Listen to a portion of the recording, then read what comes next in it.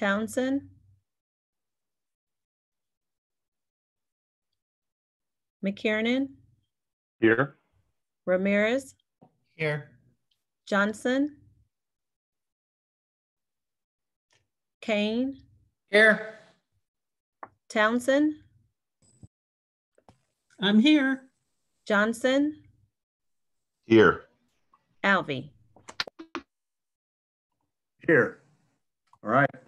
So again, 21, 2021 to 2025 capital maintenance, maintenance and improvement presentation. I turn it over now to Mr. Bach. Thank you, Mayor. Um, As we get started this year, and I'll ask Kathleen, you can go ahead and put your presentation up or whoever's in charge of loading it up on the screen. So we're ready to roll with that. Um, So we'll start into this. Um, This year's been one that's evolved quite a bit as we started. As we were earlier in the year, I think we were looking ahead at our projections and feeling, feeling good about everything, which I guess is a good place to be in. Um, Obviously, with what's happened with the, the COVID virus and the the impact on the economy, it's changed a little bit. What we're talking about tonight, though, is really one where we look ahead for the next several years. It's the it's a debt funded project. So these projects are not necessarily impacted by what's happening now, today, um, but it does provide a little bit of uncertainty as we look out into the, the future years because we go, well, will we return back to normal quickly? Will we see a downturn in the economy that's happening now and then and recover well, or we have a couple of dips in the economy, or do we go down and we stay down for longer periods of time? So with with that uncertainty, it it does influence where we're at. I will say this year, and as I've told you in previous meetings, we're tightening the belt on things we're doing. We're, we're we are pulling back in our expenses that are in the 2020 year. Um, we have to deep dip into uh, reserves somewhat, probably to get through or to look at 21.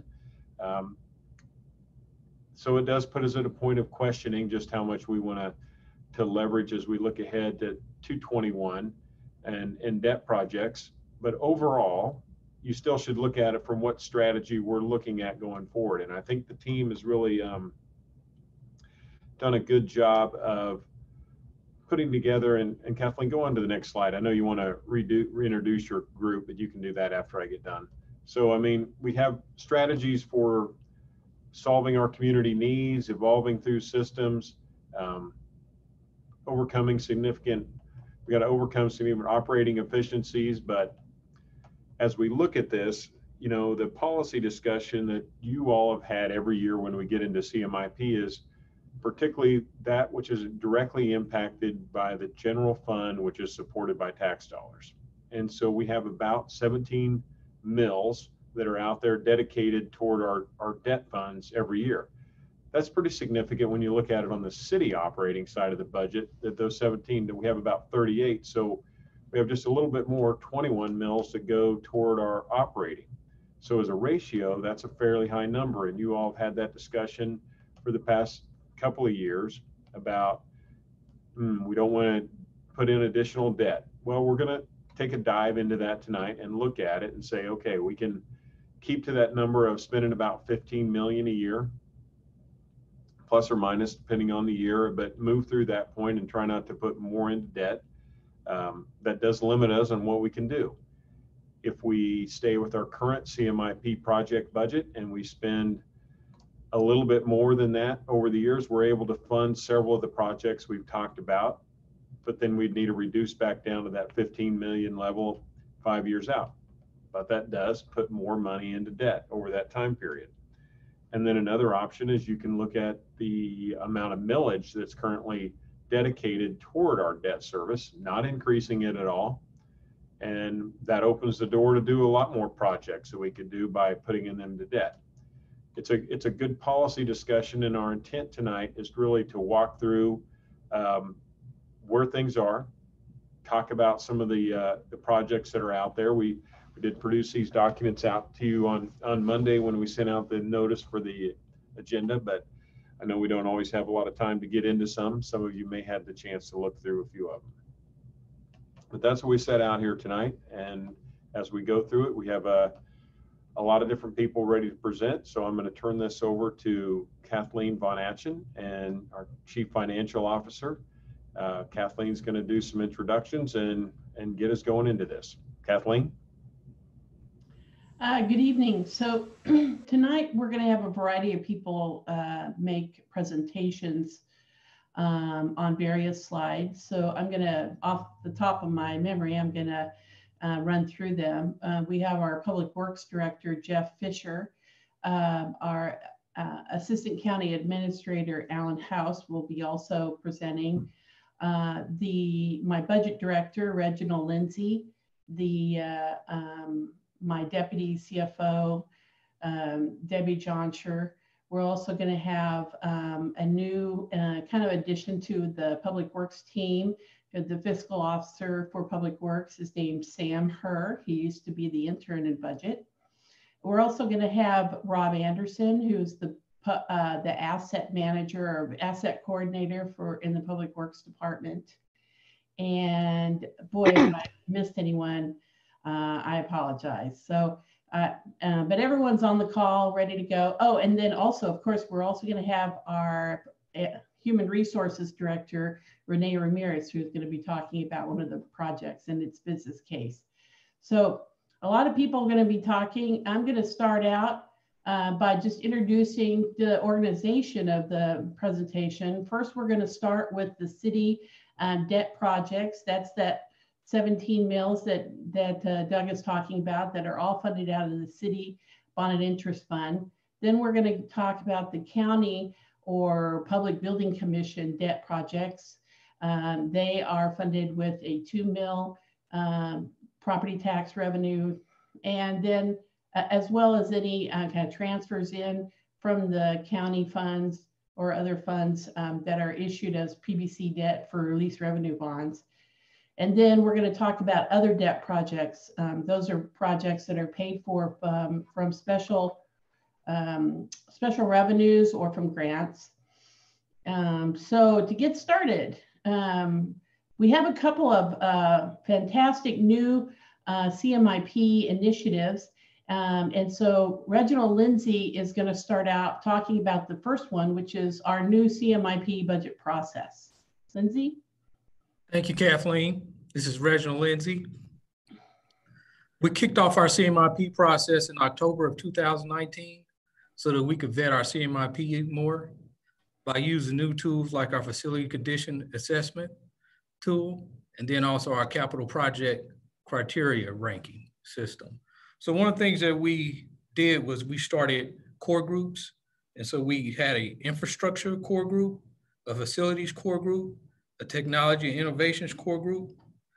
And what the facilities core group did was uh, they looked at anything that was project related to any work that was on our facilities. And then we also had an infrastructure core group that did all other public works projects outside of buildings.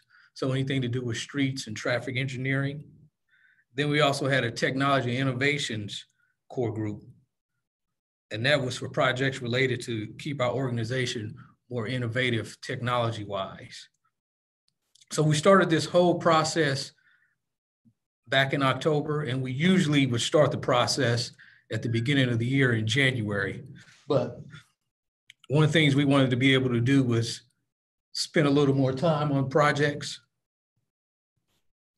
so we started these three core groups so that they could review the projects as they came in from departments.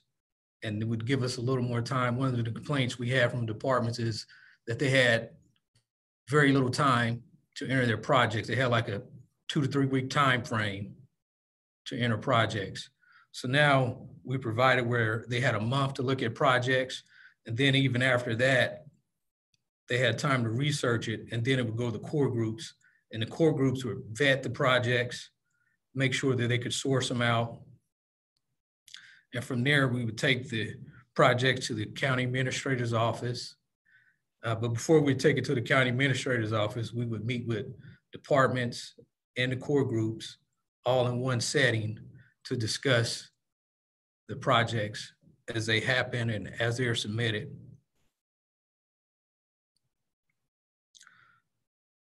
So during that time, we would review documents.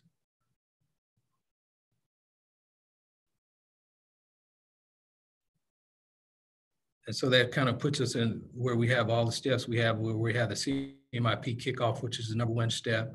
Then we have the second step, which is, which is to gather information. And then we have the third step, review and update financial forecasts. And then number four, analyze data. And then number five, where we prepare CMIP scenarios. And number six, where we participate in meetings with the Planning and UG Commission. That's where we are tonight. Now I'm going to turn it back over to Kathleen. As Reggie does that, I'm just going to ask to each of the staff members, as you come up with your turn to speak, uh, turn your camera on. Commissioners have their camera on. We are live on TV, so I'd like to see y'all so you can have that engagement as you're speaking. Thank you.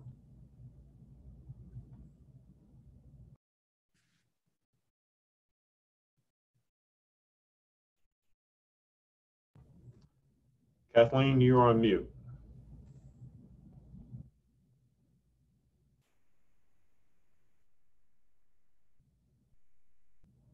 So thanks. Uh, I, uh, so I was just saying that hopefully my camera won't keep falling off my uh, monitor here. Um, all right, so the next step here is um, the, the next new initiative that we undertook was we spent a number of hours, uh, Debbie, Elise and I, um, um, updating a new debt forecasting model. And um, it's similar to the model we use for the long range financial plan. It's, uh, I think you've heard of it before, MuniCast. Um, and a number of cities use it. And we're hope we are using it tonight to evaluate different uh, scenarios dependent on the level of capital investment and economic factors impacting revenue sources. And we hope that it answers a, a variety of policy analysis questions. Um, we want to make decisions based on data. And of course, this model is going to greatly improve the transparency of our, um, our debt uh, portfolio. So the next initiative, um, I'm going to pass this on to John Kelly, is the facility condition assessment, which he undertook. John? Uh, good evening, Mayor, uh, Commissioner, and administration, and other uh, staff here tonight. Um, I just want to let everybody know that this has uh, kind of been a long time coming for our, our buildings and logistics team uh, by going through this uh, initiative. we've teamed up with a company by the name of Ameresco that we've been working with essentially for about the last year and a half, where we had them work with multiple end users from police, fire, parks, water pollution along with uh, you know buildings and logistics. so essentially, what they went out and did was they went out and looked at all of our assets, from parking lot structures to all of our uh, buildings and such, which was roughly around 215 uh, sites. So with this particular uh, uh, survey assessment that they did was they went in and looked at everything from the building envelope to the, the roof structures to windows to carpeting and so on and so forth, to where they basically did an assessment of finding that we're roughly about $75 million in deferred backlog. And even though that number to some may seem like, wow, that's a that's a big number, uh, and uh, yes, it is a rather large number, and we know that we just can't take a, a stab at that number right off uh, the start. But I do want to let everybody know over the last two budget cycles, we have projects that are in place that are getting ready to uh, basically get started. That really takes that number down from 75 million roughly to around 58 to 60 million just within the next year. Uh, and one of the reasons too is they assessed the Reardon Center, and as we know that you guys approved here a few weeks back uh, for a development project, that that that uh, particular building uh, comes offline. So that starts taking that deferred backlog number uh, down considerably as we start looking at some of our buildings and what the needs are. Um, also with the fire department and some of their uh, fire stations as they continue to uh, uh produce new fire stations and merge fire stations into new, we start taking that deferred cost down uh, slowly. So this is just really something that we're really excited about.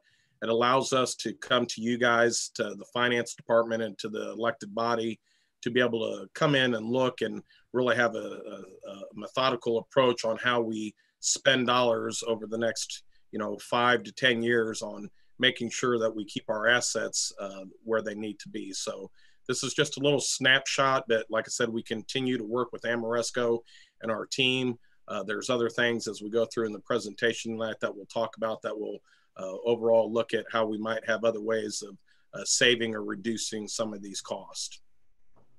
Thank you.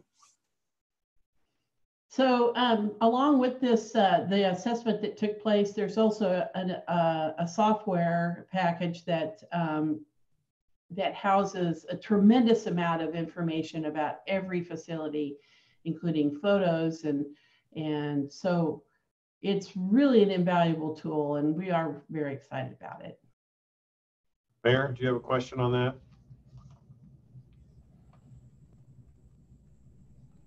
Yes, thank you. Uh, so I'm confused. Um, it says 250 million liability over future 30 years, 75 million in identified deferred backlog, which I understand has been reduced to 58 to 60. I'm, I'm confused about the liability over future 30 years. What does we see 75 million in identified deferred backlog that really needs to be addressed really in the near future? And so what does that mean then for the 250 million liability over a future 30 years? I'm just not clear what, what that refers to here. Thank you. Well, that is the, the part there that's a 75 that John referenced that was down a little bit really is things they look at and said, we need to be taking action on these projects now.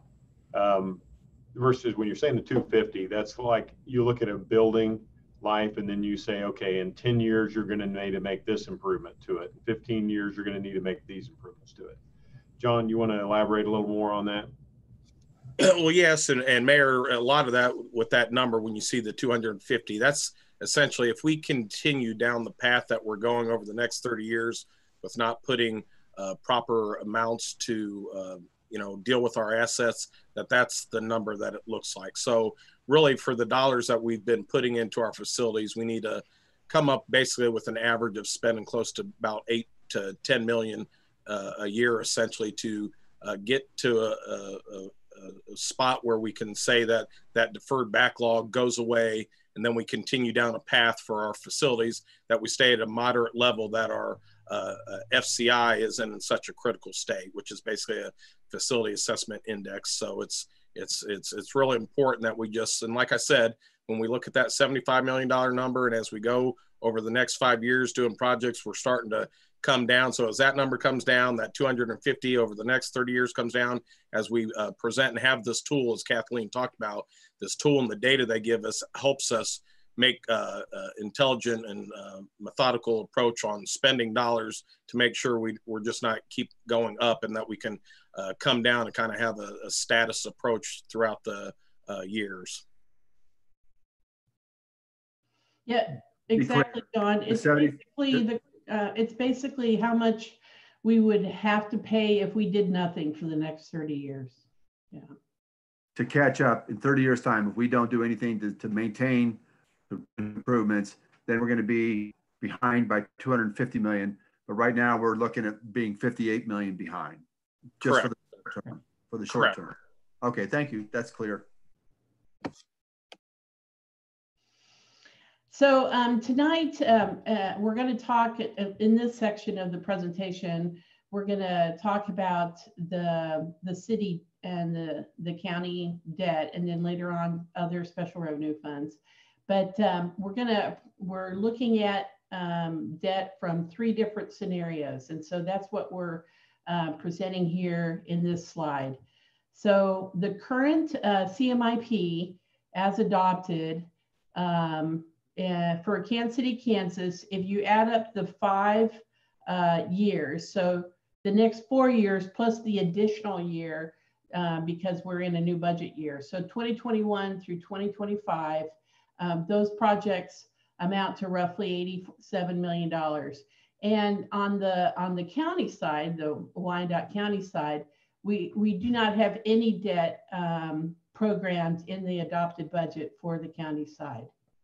Now, if we were to, scenario one, bring down the adopted budget for the Kansas City, Kansas debt target, um, which is seven, uh, it's $80 million, um, that would bring down um, the annual debt from to, from where it is in the adopted level to 15 million a year plus a little CPI every year.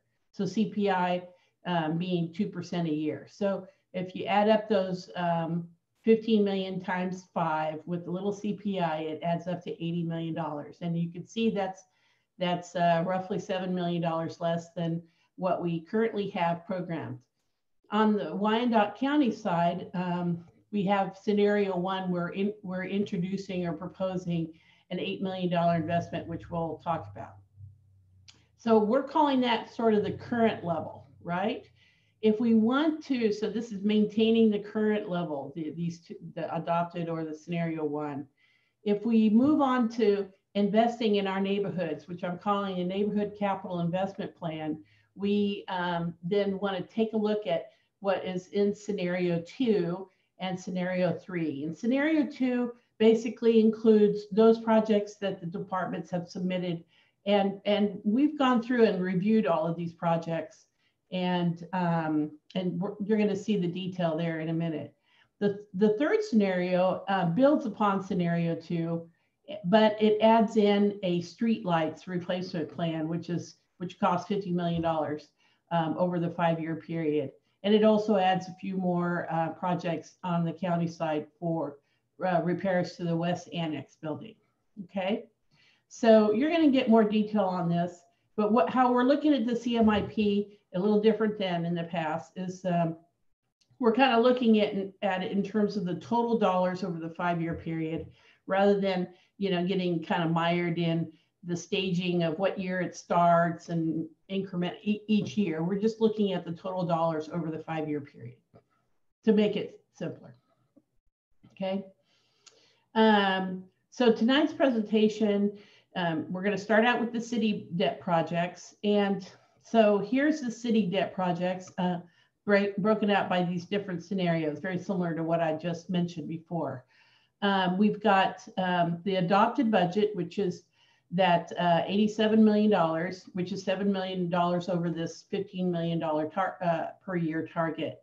Um, and it includes the current adopted CMIP, which was through 2020 through 2024. But in this case, we're only looking at starting at 2021 because 2020 already is a year that we're already in and we're, we already uh, embarked on those projects. And then uh, we added a continuation of annual improvement projects in the last year, okay? Um, the scenario one would meet the debt target um, of $80 million. So it reduced the CMIP by seven. It also adds in um, the issuance of a two-year um, temporary note to be paid off in 2021 and 22 um, in the amount of $6.7 million. And that's for an uh, eight, uh, human resources and finance um, ERP solutions project. Um, what we found through a review of all of our debt funds, we found that um, over time, the city and the county bond and interest funds have been accumulating excess reserves um, th that uh, are a result of having refinanced the, our prior year bonds at lower interest rates and also when projects get completed and the project or the bond proceeds may not have been 100% all spent, those funds have to, uh, by state law, have to be reverted back to this to the bond and interest funds. And so um, those those funds, the, the, between those two things, we've accumulated some excess reserves.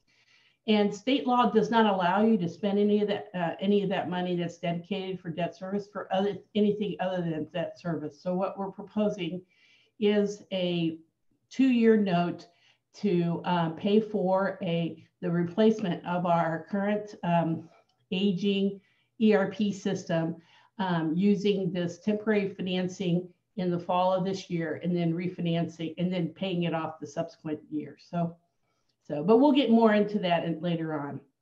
The second scenario um, is $109 million over the five-year period, and it's a neighborhood capital investment plan. It augments street preservation. It adds in a fire station in 2025, and it has many other needs.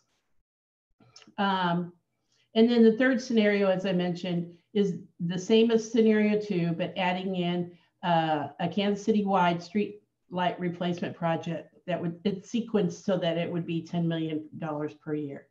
Now, each of these scenarios, we have uh, done financial forecasting and and and uh, not only in a modest uh, revenue position, but also in a in a worst case scenario.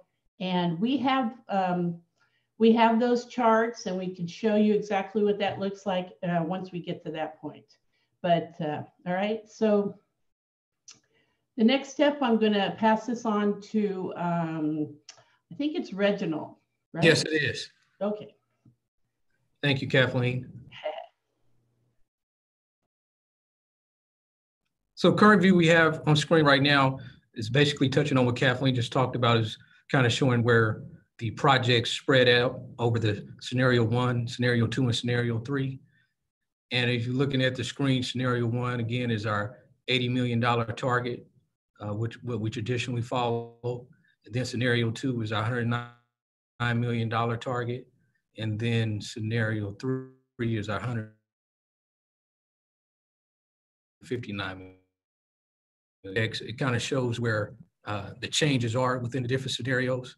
We can see if we stick to our $80 million, some of the projects we had to cut back, like for instance, the neighborhood 88 pedestrian and, and then the Reggie, we're having a little trouble with your audio. I'm not sure how you're set up there, but you kind of seem to be going in and out on us. Okay, can you hear me fine, fine now? Mm, You're still cut out.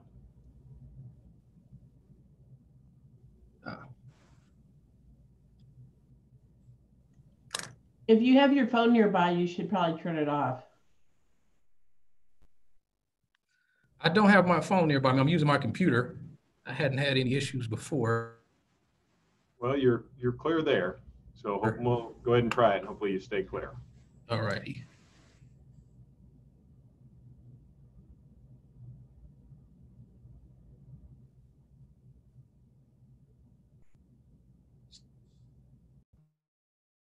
So as I was saying, the 47th and Orville re- resurfacing, Reggie, we're not getting you. You're cutting in and out. I think your uh, internet connection is fading on us. Yeah, Doug, I was going to ask Reggie. They're on five where the uh, Wi-Fi signal. Uh, Reggie, are you are you just Wi-Fiing, or do you have a hard Ethernet cable to your computer? I I am Wi-Fi. Uh, you might need to move. Uh, I know you're in your conference room. I can see, and I don't want to disrupt that. But if you go into the fifth floor conference room uh, or somewhere closer where you know the Wi-Fi, but I know the fifth floor conference room there has our Wi-Fi uh, system, so that might help things. All right, we can all watch Reggie move as he relocates into a, hopefully a better situation.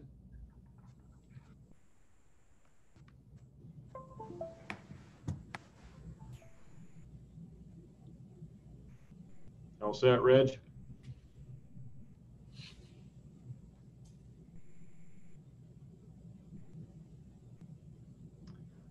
Maybe not.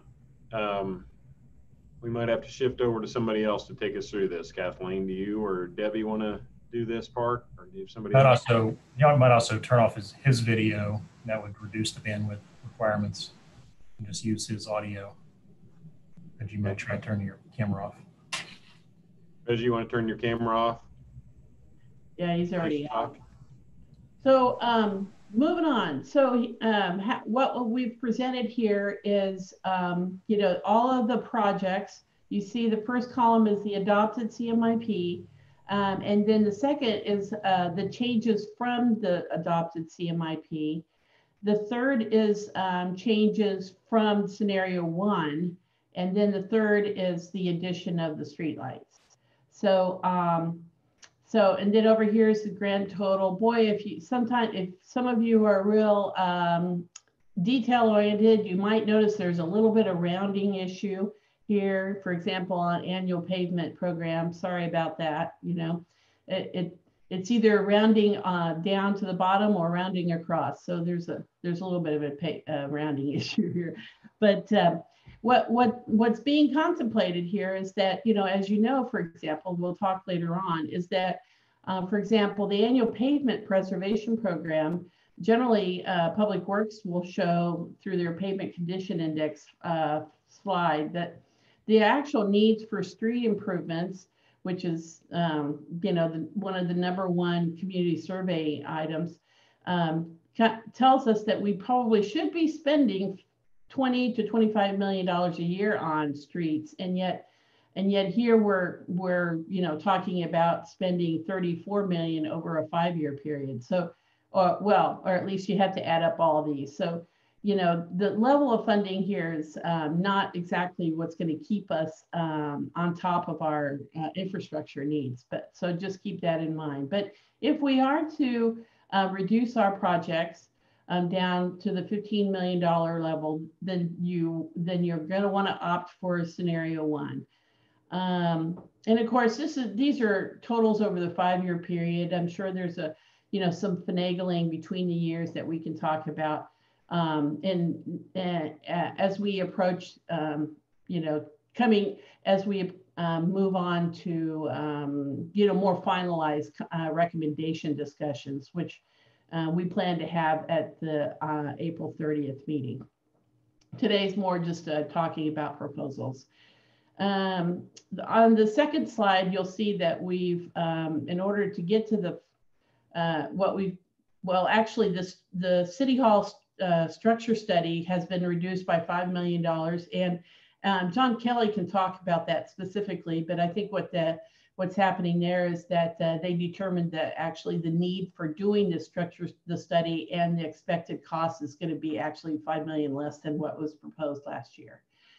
Um, this one down here, the Wyandotte County Lake Water Line Study and Repair, that isn't because we're cutting the project, it's because we're moving it out of the city uh, funded projects and over to the county funded projects because it is a county lake. So um, um, uh, and one interesting, so the only change really in scenario two is that we're augmenting our funding for annual concrete repair programs by 3.8 million in scenario two. We're um, supplanting our uh, investment in annual pavement preservation programs, which hits cities across the um, city. We're in increasing slightly the annual alley improvement program as requested by the department. And then we're also um, going, we're also requesting an additional fire station and slash actually traffic division uh, facility. Uh, so it's not just a fire station. I meant to add that in there. It's also a traffic division facility for the cost of $10 million in the last year of our CMIP. Okay. The third scenario, the only change is the addition of a $50 million um, street light replacement program that would hit all the neighborhoods across the city and uh, um, estimated to be 10 million a year. Okay. Um, so this this graph actually shows, or table actually shows um, what the same scenarios are, only um, subtotaled by the various functions, you know, for streets, for bridges, traffic engineering. Um, so as you can tell, the, the adopted budget has uh, in place $45 million investment if we were to opt with scenario one, that would be reduced by $2.4 million. If we go with scenario two, that would augment that funding by 18.7 million. Um, and then if we added in the, the street lights, then you're adding another 50 million. So that's how it all kind of goes. Okay. Hope this is a good guide for you. Um, Kathleen, and, Kathleen, mm -hmm. I just want to make a comment on the, so yeah. as you're looking at scenario ones to scenario two. So scenario one has some negatives in it. Scenario two adds back in those negatives and then right. adds the other projects to it. Mm-hmm. Just just making that as a clarifying point. Yes.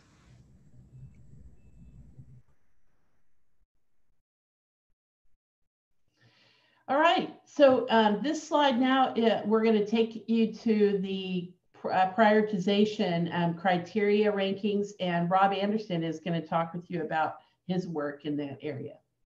Thank you, Kathleen. Uh, Robbie Anderson, Public Works Asset Manager.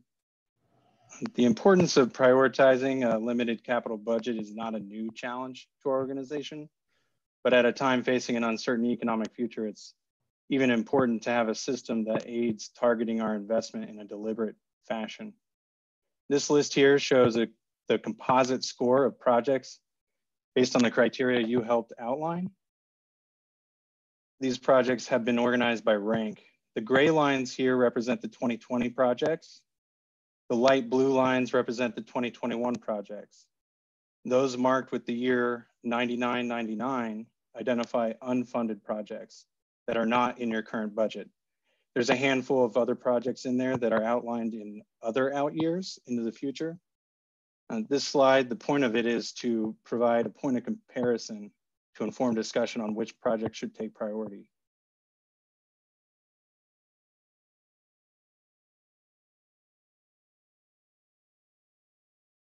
This is the slide, I guess, that we did a lot of work to compare. Had the earlier discussions earlier in the year, so you all would have a good feel for where we're at.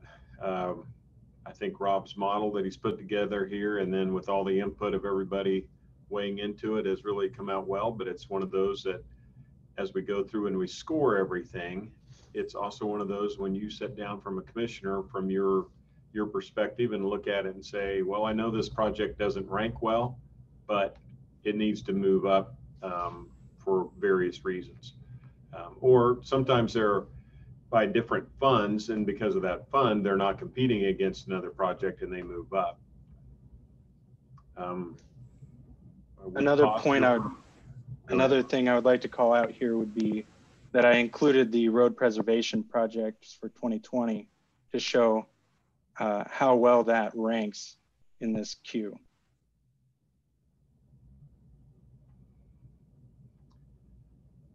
Anybody have any questions on this criteria? It's a little bit, I mean, it's one of those things we went through. I know we spent the time going back through it with the committee and and then had additional feedback on it. But you see there are some projects in here that you all have asked about for some time or wanted to see. Um, now they're all up there on the board, or at least there's 50.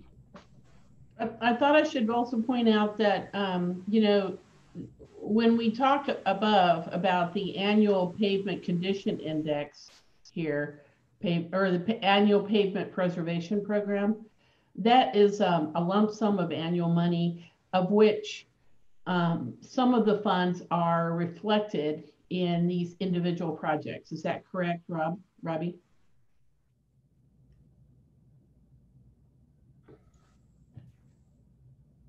It might be the case, but not typically. It's a separate set of uh, selected streets for pavement preservation. Oh, okay. So this is Commissioner Burroughs. I do have a question on these project criteria rankings. I see nothing about the holiday. I see a bridge replacement on Holiday Drive. We have an area of Holiday Drive that is in need of major repair, and I do not see it even in the five-year plan. Uh, well, there here's a holiday uh, drive bridge replacement right here, but I sort of remember that there's a holiday drive project that was funded in 2020, maybe. Public Works needs to. Jeff or Troy? Yeah, I, I know what you're, uh, Jeff. I know what you're talking about, Burroughs. Jeff, move closer to the microphone. We will. Uh, I'll turn mine up. We will uh, take a look at that, Commissioner Burroughs, and make sure that's in there. It might be that that's a, uh, these are projects over 200 grand generally. Uh, so I'll have, I'll take a look at that with Troy and see if uh, if it's not in there, we'll, we'll include it. Commissioner, this is this is Troy, um, county engineer. Yep. Um, the uh, I, I, assume you're talking about the part between 435 and Lake Quivira. That's that, correct. Yes, that we're going to do that this year with the pavement preservation program. So it's not it's, it's not an individual project. It's part of the uh, pavement preservation program. So when we bid that out, it'll be done with that. Do we know what? Do you have a, a project cost for that? Uh, we're working on that right now. We have trying to figure out a few options to get it done without going down on the railroad property to do major work. we're work, we've, we've talked to Lake Quivira some too, because they've looked at it as well. So we're looking at it. Yeah, it, it's becoming a, a real traffic hazard, and I'm afraid we're going to have a major incident there before it gets addressed. So I just wanted to ensure that I brought it uh, up for discussion this evening. It's one of those areas that I believe if we don't address it, we're going to have a collapse.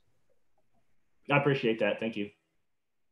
Mayor And Yes, uh, Robbie, could you explain again the, the, what the different colors mean? One, uh, you said the, on the. They're just, they're just have- an, they're an extra way to call out the different years that these are identified in the budget. Okay, so so if give me, give me the color code again. The gray lines are 2020 projects. The blue lines are 2021 projects. There's a handful of other out years on there. And there's also this year marked 9999, which is intentionally used by the research team to identify unfunded projects. Right, thank you. And I would, I'd just like to add that the, the prod, the road preservation projects are in there as a bundle and it doesn't represent or call out the individual line segments that are going to be in the queue for that program. That's uh lot, that's rank number three. Mhm. You'll notice that the street modernization project for 50 million is ranked 22nd out of the total 50. Commissioner Ramirez? I think you just answered my question, Kathleen. Is that the 50 million streetlight modernization? Is that the same thing as scenario three? Yes, it is. Okay, thank you. Thank you. Commissioner Walters? Yes, um, I'm seeing on project number 31 some information that I don't understand. Uh, that if you're talking about the K32 quiet zone, uh, phase one, that is a 2016 CMIP project. And um, I'm seeing this listed as a 2024 project, but the commission has already approved it several years ago. So what am I looking at there? You're looking at a second phase that we discussed when we brought out that first phase, Commissioner? So this would be phase two. Yeah, if we elect to go through with it, this would be an additional phase. Great. That's what I thought it might be. Thank you. Yeah, that's The other just, part is all bonded. that's just an error, yeah, an entry in the description of the project. Can I ask another question then on item 43, just so I understand, 110th and Riverview is not in Kansas City, Kansas. So what is that project? Troy, can you answer that? Yeah, this is Troy Shaw, County Engineer. Um, so um, Edwardsville is receiving a grant um, to make improvements to 110th and Riverview, basically is. Um, um, so we put money in the budget because it might be a good opportunity for us, or we, we put up a pro, proposed project because it might be a good opportunity to us to make improvements to um, that interchange with um, where you exit I-70 onto uh, 110th Street at that point um, and look at our side. So it is not in Edwardsville. It is on the um, north side of that I-70. So it, it's just a good, it's just an opportunity to work in conjunction with them and, and uh, cost savings and, and make an overall good project. Okay, well, it is somewhat confusing to give it a location that's outside our city limits. So there might be a better way to designate that. It's, we can change the name. Thank you. Troy, if it's on the uh, north side there, it's really 110th and Village West Parkway. I think as you go north at, our 118th. Yeah, it, I think it was originally done that way just so because it was it was thought of when they applied for that grant, and it just so it stayed linked, so it was known that it was linked to that. But at this point, we could change the name. That's fine. Okay. Thank you. Mayor Alvey, did you have another question or the hands up? I just, I don't have control to take the hands down if you don't. Yeah, I don't see the thing. No, no, my hand's down now. Oh, okay, thank you. Oh, I don't have the hands. Doug, I have a question. I'm sorry, I don't see that. Oh, the hand controller, if you look down at the bottom of your screen, you'll see a thing where it has the other attendees or meeting attendees.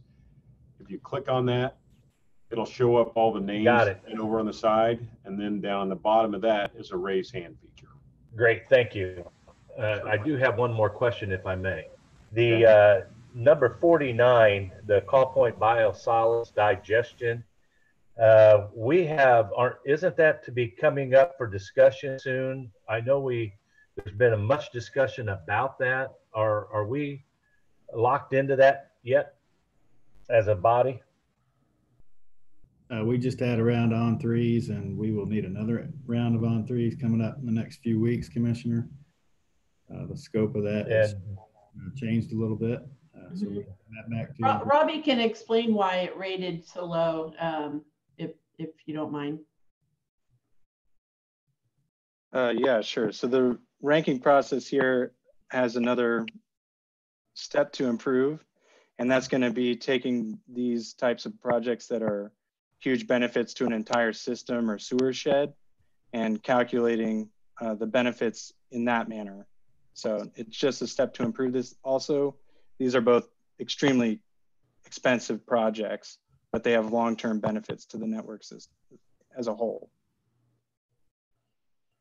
And we expect that the return on investment uh, for this project specifically is very positive, very favorable. So it, it's almost, re- it's revenue neutral, so more better. Another another thing to think about here is some of these might have other reasons why we have to do these, obviously.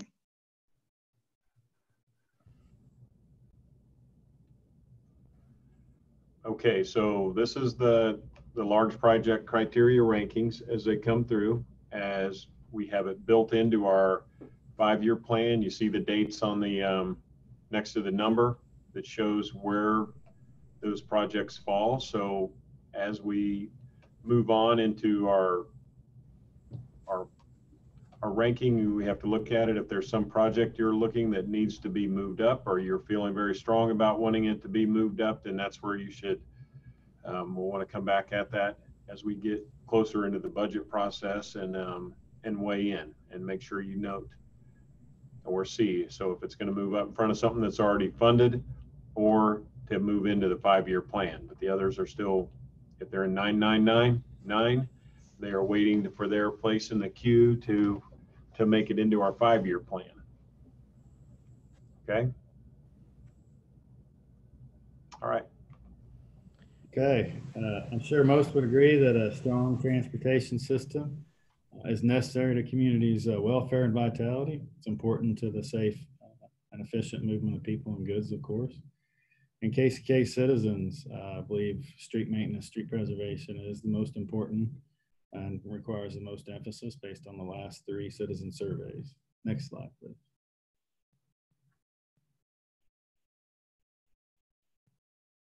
We know uh, that our average PCI is a 56 uh, out of 100, and the commission's goal is 65. That requires a lot of investment to move the needle that much. The UG was to make a sudden shift from current level of roughly 6 million a year to uh, 20 million a year, uh, which we know is most unlikely. The curves would be accelerated uh, to a few years. The uptick in the PCI would only take a few years. We know that's uh, uh, not likely. So the great thing is that we can predict outcomes now with the database we have uh, based on level of investment and street preservation activities.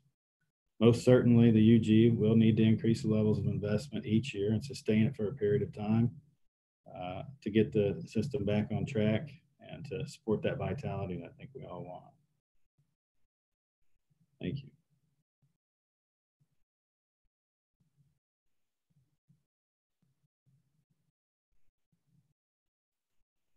Um, this next slide is for um, Alan Howze. Are you on? I'm here. Great. All right. Uh, good evening, commissioners. Alan Howze, Assistant County Administrator, Chief Knowledge Officer. And as Kathleen mentioned earlier in the presentation, one of the projects in the CMIP this year uh, is in what we call an ERP or Enterprise Resource Planning uh, software project that is for both the, the human capital, human resource needs, and the finance needs of the organization. And uh, so the, the question of, you know, how do we, why do we need this uh, system and you know, what is it serving?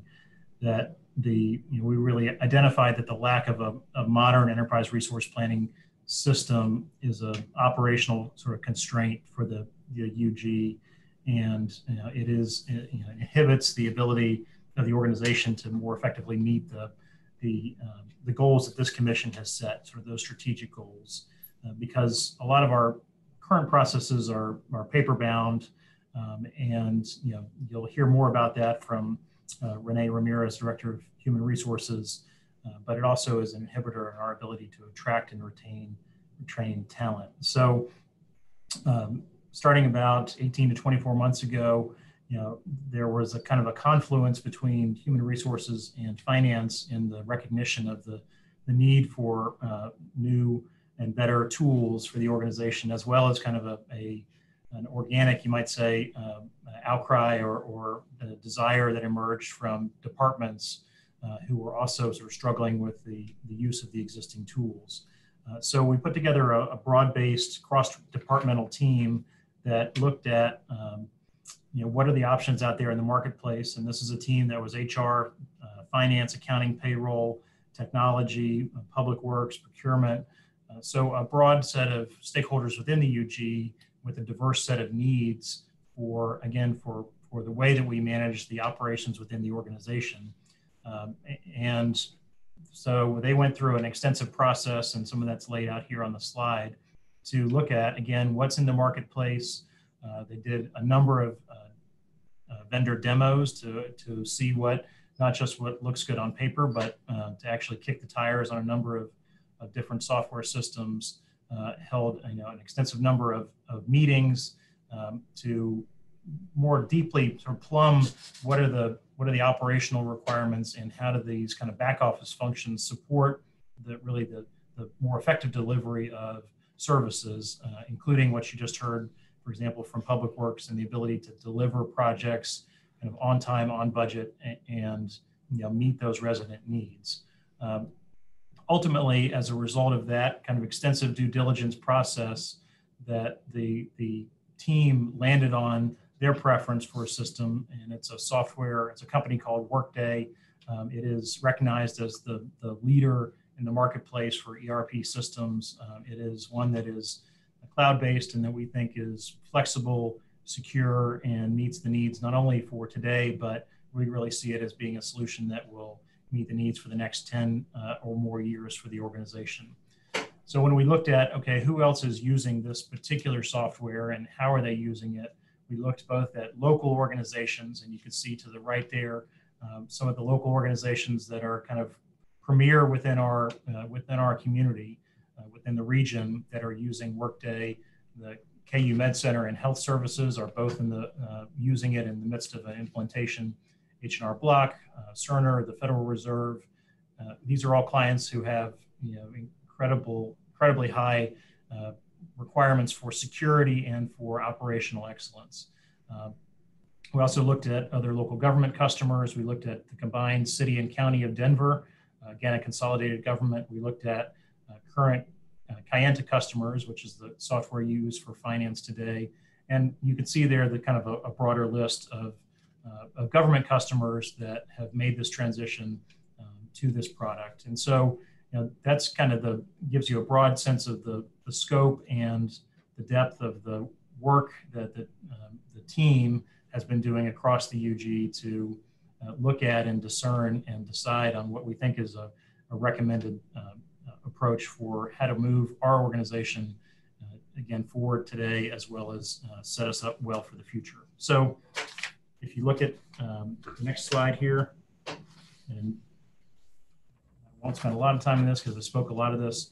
You know, our, our, current um, current software, we only have multiple softwares. We have databases um, and access for HR, uh, we've got you know, different uh, spreadsheets and that sort of thing that procurement uses. We've got a Cayenta, which is our core financial system, uh, which is an older system, older platform, and uh, really we kind of outgrown it, and it no longer meets the needs of our organization. And consumes a lot of staff time in the, in the use uh, of that, as well as making it more challenging to get information and data out uh, of that system that can be used uh, by uh, for management and, and, ultimately for the commission in making decisions about funding. So we see Workday as being something that is it's a modern, highly configurable system.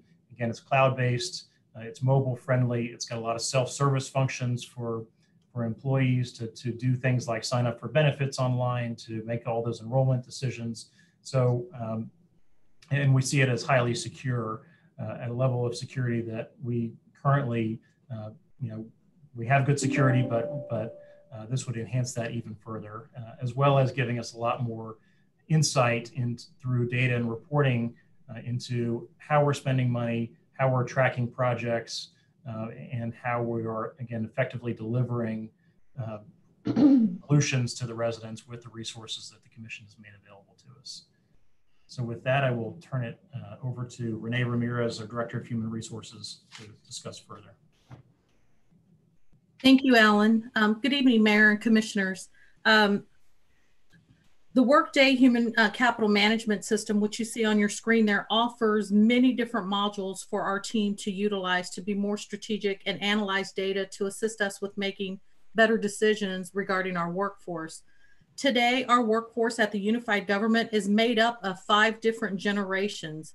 We have the traditional generation, we have the boomers, and then we have generation X, Y, and Z who are working for us.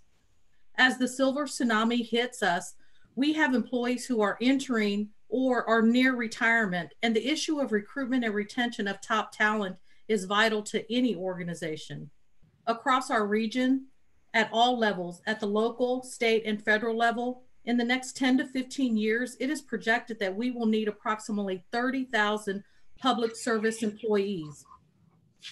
The public sector has always been viewed as lacking in technology and falling behind the times. In order for us to remain competitive in this market, we need to be prepared to advance our organization in a direction that can attract tomorrow's workforce. In an article um, that I read from The Hill, it mentions that by the year 2020, which we're in now, 75% of the workforce will be millennials. Some of the challenges that we face with our current system today is that, again, like Alan mentioned, our processes are largely um, based, paper based, with approximately 40 steps to complete the hiring process. And that's from uh, when we recruit an applicant to the onboarding process, which is day one of orientation. It takes approximately 104 days to fill positions, which then causes departments to um, have to call in for overtime, which impacts all of our budgets. We use manual processes, as Alan alluded to. We use Microsoft um, Access and Excel spreadsheets, not only in human resources, but throughout the organization.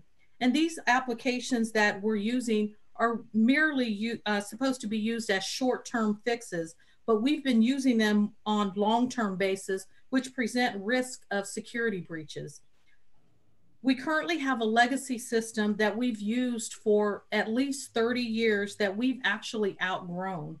And with a new robust system, uh, we can leverage process improvements by many things. One of the things that we'd like to do is really improve on our business processes to positively affect our applicant pools by making it easier to apply. Um, I'm not sure that we'll be able to eliminate paper applications all the way, but going in a direction where we're able to allow our applicants to apply online is going to be definitely going in a positive direction. Providing a user-friendly experience when our applicants can apply and do an online application in anywhere from five to seven minutes or less. Um, that's what our, our workforce is looking for now. Uh, we're going to be able to take our 40 steps down to approximately 13 steps, which is going to save not only the human resources staff, but it will save every hiring manager and anyone in the hiring process time uh, when filling positions. It's going to allow us to automate many of our uh, processes for the onboarding, performance management, benefits, employee development, and many other HR concentrations that um, you see on the left-hand side. And there's a lot more benefits that you'll see on the right hand side of that slide. But most importantly, it allows for the better visibility into our processes. The impact of, of hmm. having a new system will provide us with a new way of doing business, transforming our processes to be automated, allowing us to continue to grow as a competitor in the public sector market.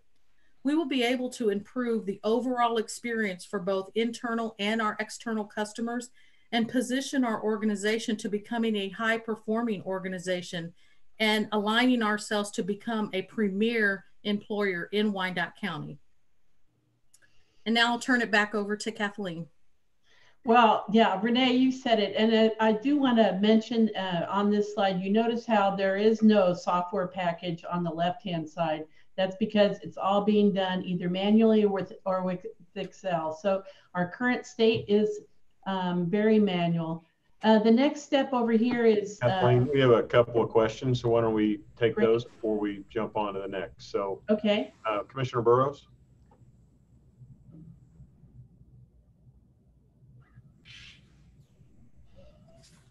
I think you're still muted, Commissioner. Thank you. I, I, I I'm sorry. I, is that better?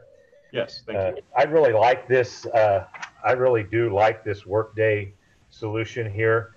This is anything that would get rid of a legacy system that allows us to be more efficient and effective in what we do. It addresses not only the amount of manpower, the 104 days to fill positions is really quite burdensome, not only on the system itself, but on those that uh, on on time management. It, I really do like the benefits of this workday. I looked through it. I uh, researched a little that is of importance if you want to be an efficient modern day government. Thank you, Commissioner. Thank you. Um, Mayor? Thank you. Uh, So let's just, um, I think that there's someone who does not uh, run a, a business office. Um, I think some of what we've been describing is maybe out of reach for a lot of people who don't do this on a daily basis. But if you could just kind of put in the context, if we had had this uh, solution in place, how would it have affected our our what we've how we've had to respond to COVID-19, just in terms of how we're able to continue doing processes without a lot of uh, changeover. Well, currently, what we had to do to address, uh, we had to really, we've had an online application for many years, but the burden that that has created for applicants is that they're not able to, um, you know, basically um, input that application into a database. So what happens for an applicant right now, they have to fill out the online application, they have to save it to their computer, and then they have to email it to us. And uh, one of the things that um, we've been able to do is while we're still using that process today, in order to do interviews and to keep some of the hiring processes going, uh, we have been um, using uh, the Microsoft Teams for video interviewing, which is something that we've never done before. This um, um, Workday product is going to allow us to continue with those types of things in a more robust robust way. The other thing that I think is really important here is that right now we have to call applicants, um, set them up for um, interviewing, and do all those manual steps. With a product like this, the hiring manager is going to be able to review applications. Right now, my staff, we're still accepting paper applications, getting them through email. We then have to print those off. Uh, then we have to create a folder, send them through email to um, the hiring departments, and hope that they get everything through. We're using Xfer. So we could have a position that we could get anywhere from, if it's posted on Indeed, we've had anywhere from anywhere from 100 to 300 applications come in through that process. So my staff has to go into the office, they got to scan everything in and then try to get it through email to the hiring department. And then the hiring department has to share that with the people that are going to be on their panel. So it becomes burdensome um, all along the process there. But a product like this, If, uh, jump into Renee to, to uh, supplement, I think your answer you mayor, your question around, you know, what is in the current situation in terms of reacting to COVID, what does something like this allow us to do, or what are some of the, the challenges is, uh, you know, most of the, over 70% of the costs of our organization are uh, through personnel. You know, that is, that local government delivers services through people. Uh, and as the, has been presented to this commission uh, within the last couple of weeks, as we look at options for how to address what we anticipate to be a, a shortfall of sort of undetermined magnitude, the ability to sort of do scenario planning and to um, to look at and say, okay, how many uh, how many positions do we need to hold back on hiring, and how quickly do those savings accrue to our bottom line, uh, is a very uh, human intensive process now between HR and finance. Uh, and so having a software like this would allow us to much more rapidly be able to look at you know, where is the cash, uh, where are cash projects, where are cash equipment costs, where are um, unfilled uh, positions in various sort of states within the, the process of being filled and allow us to move more nimbly uh, to address uh, and to make changes for how we deal with you know, this unexpected uh, change, as well as then to implement, uh, say, a, a, you know hiring slowdown or other uh, solutions, kind of on the on the on the back end of that. Once decisions are made, uh, using a system like this, it becomes much more uh, possible and, and, quicker to kind of implement those those changes. And, and Kathleen may also have something to add. Uh, yeah. well, yeah, absolutely. So, for example. Um, uh, Ron Green is our payroll manager, and uh, every pay period he updates a spreadsheet that um, tracks our revenue trend, our, our payroll trends, in order to see how um, how closely we are keeping track with what we expect our vacancy rate to be. And it's a great big spreadsheet that he updates every every pay period. And um, but absolutely, it's difficult to really, really be able to see exactly how many positions are open, waiting to be filled, um, when and, and estimate um, when that's going to when is that going to happen and when will they be filled? And with this workday product it would be so seamless and and fantastic. So um, you know i'm not going to you know bore you with the finance side but I do want to tell you that um, you know the Cayenta's system has really served the organization well, and I, you know, but um, it's a legacy system. We want to get out of the 1990s and into the 2020s, and this is going to take us there. It's it's a, a um, it's a, a it's the new software that all of the major and important organizations are turning to. It has um, 10 years of of experience uh, of successfully bringing and transforming organizations. It's a solid investment in the organization's future.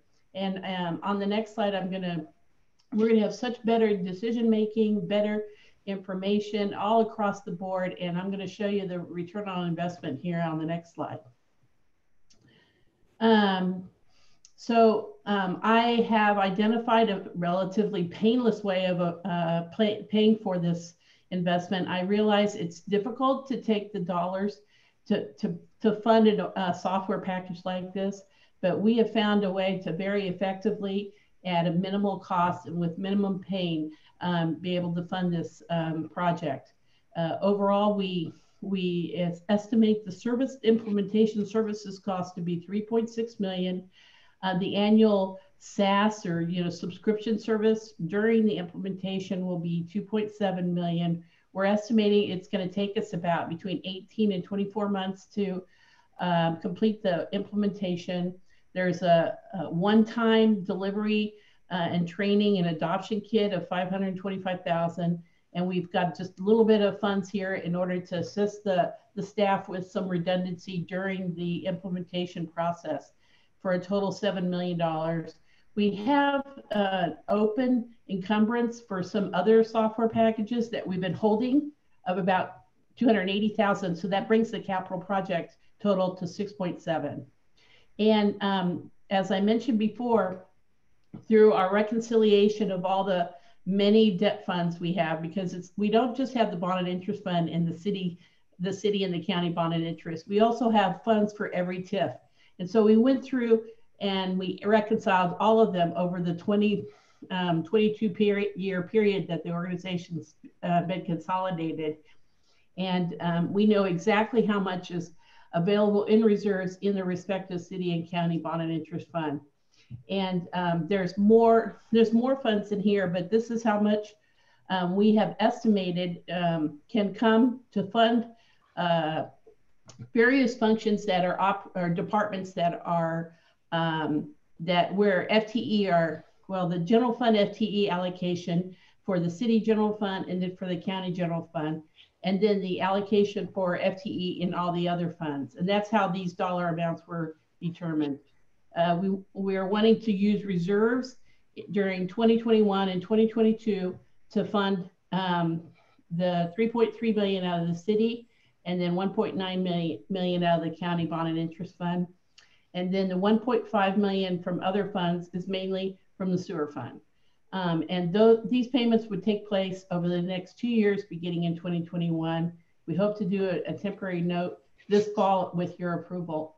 And the table on the on the right here um, demonstrate we we uh, we actually sought expert help to, to develop a business case analysis where we um, identified all of the various benefits that it's going to that the organization is going to um, achieve by um, by the end of this implementation. And what we found is that all of those will have a, a very positive impact on the bottom line of our organization, resulting in roughly between four and six million dollars per year in savings across the entire $400 million budget. And as a result of that savings, we expect to recover the $7 million um, over the next three and a half years. So this is a really great investment in our organization. And it falls right in line with our priority-based budgeting because um, the priority-based budgeting uh, our objective was to identify two and a half, at least two and a half million dollars in savings um, from administrative efficiencies. And this is what, how we're hoping to achieve that savings.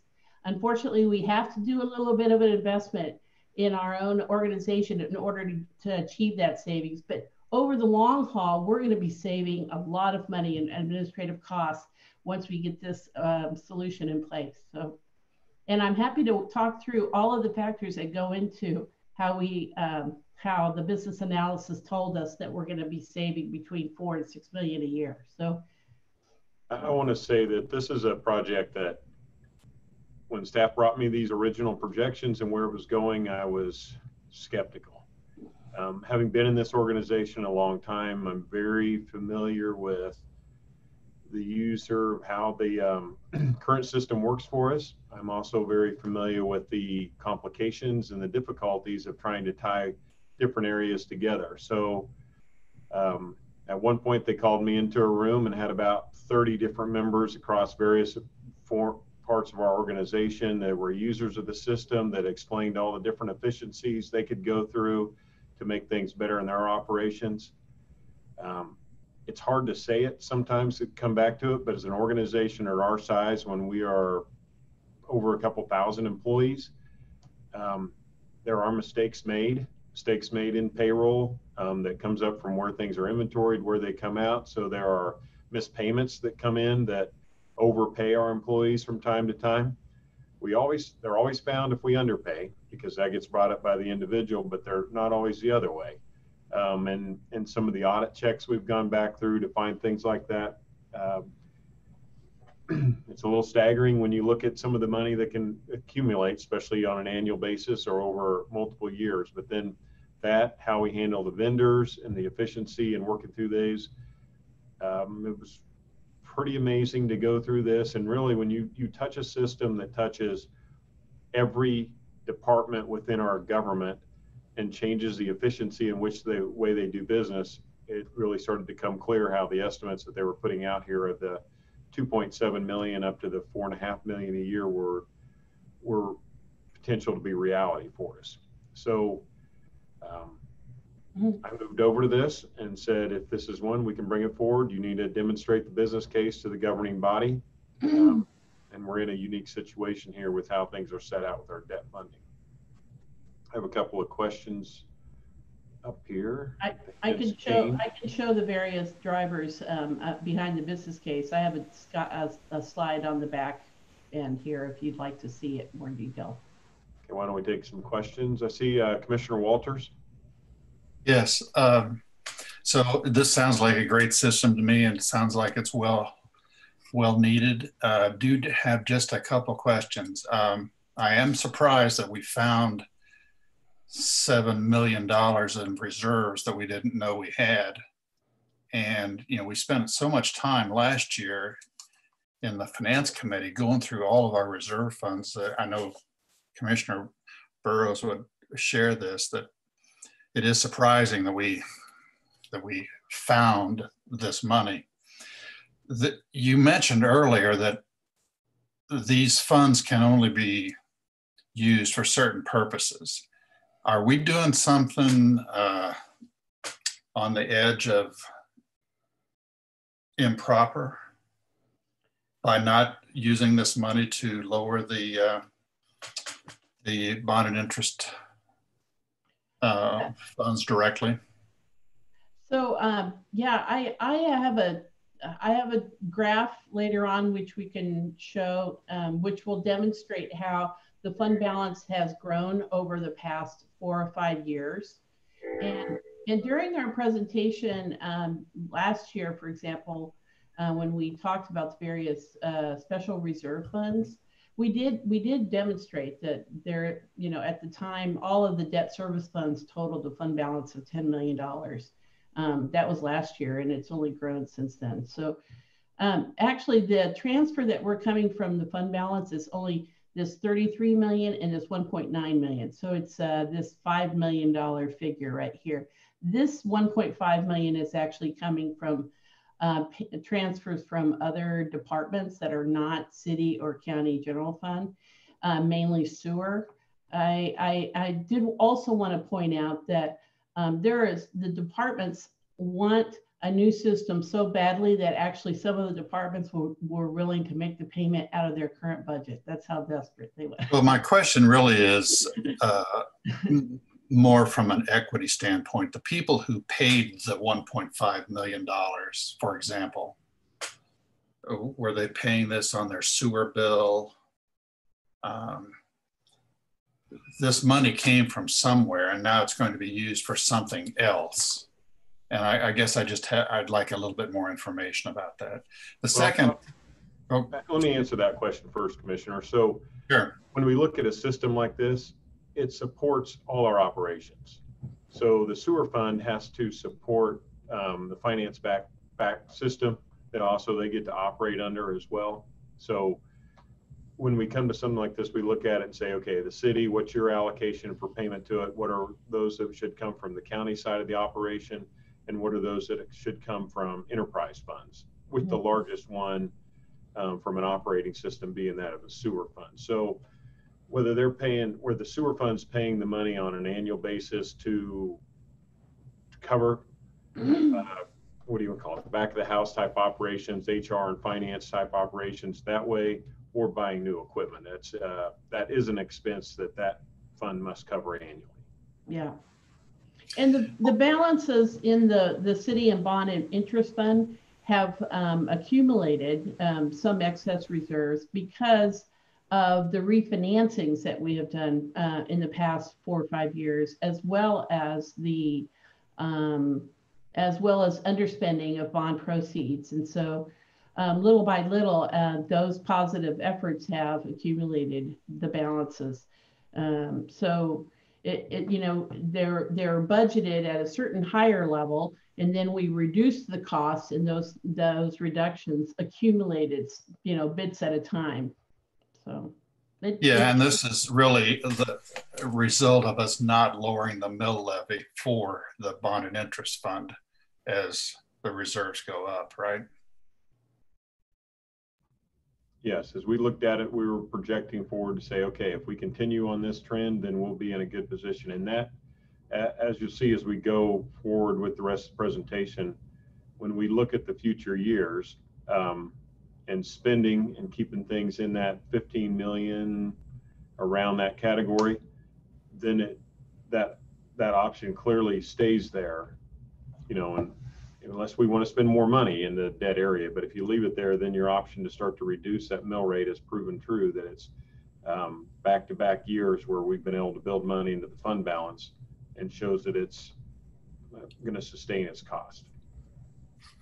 Okay, well, Just real this big picture, it it just seems like if we are going to have property appreciating at five or six percent per year, we could potentially reduce our bond an interest mill levy. Um, But that's a separate discussion. Um, My, so my last question, I think Doug, you touched on it. So there was an analysis done as to how much of this money should come from the city funds and how much should come from the county funds? And that's how you came up with those numbers? Yeah, it was uh, based on, sorry to interrupt. I, I, yeah, it was based on the level of employee count for each uh, fund. That's what it was based on. And that, that's an indicator of the operational costs and need of the organization, especially from the HR side. Yeah. And did you say you had some additional analysis of that? Uh, Yeah, Oh, that- you said you had additional analysis of the payback Yeah, here it is. and Um, where that five million, four, four million dollars will come from.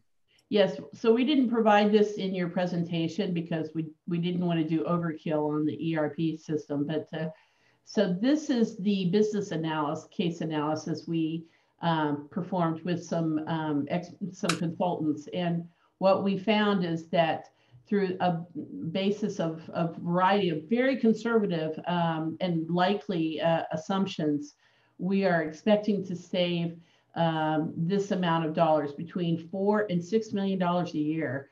And you understand we have a four hundred million dollar expenditure base across all of our funds. So, um, so you might be uh, surprised by the six million dollars, but six million compared with the entire four hundred and you know four hundred million dollar budget is uh, um, you know not that unreasonable. So um, we've looked at the conservative side and the likely side. And, and, and then on top of it, I took an average between the two. The, um, we expect to have savings of technology. In technology, we, we expect to have uh, improvements in our organizational performance through the use of a um, performance evaluation tool.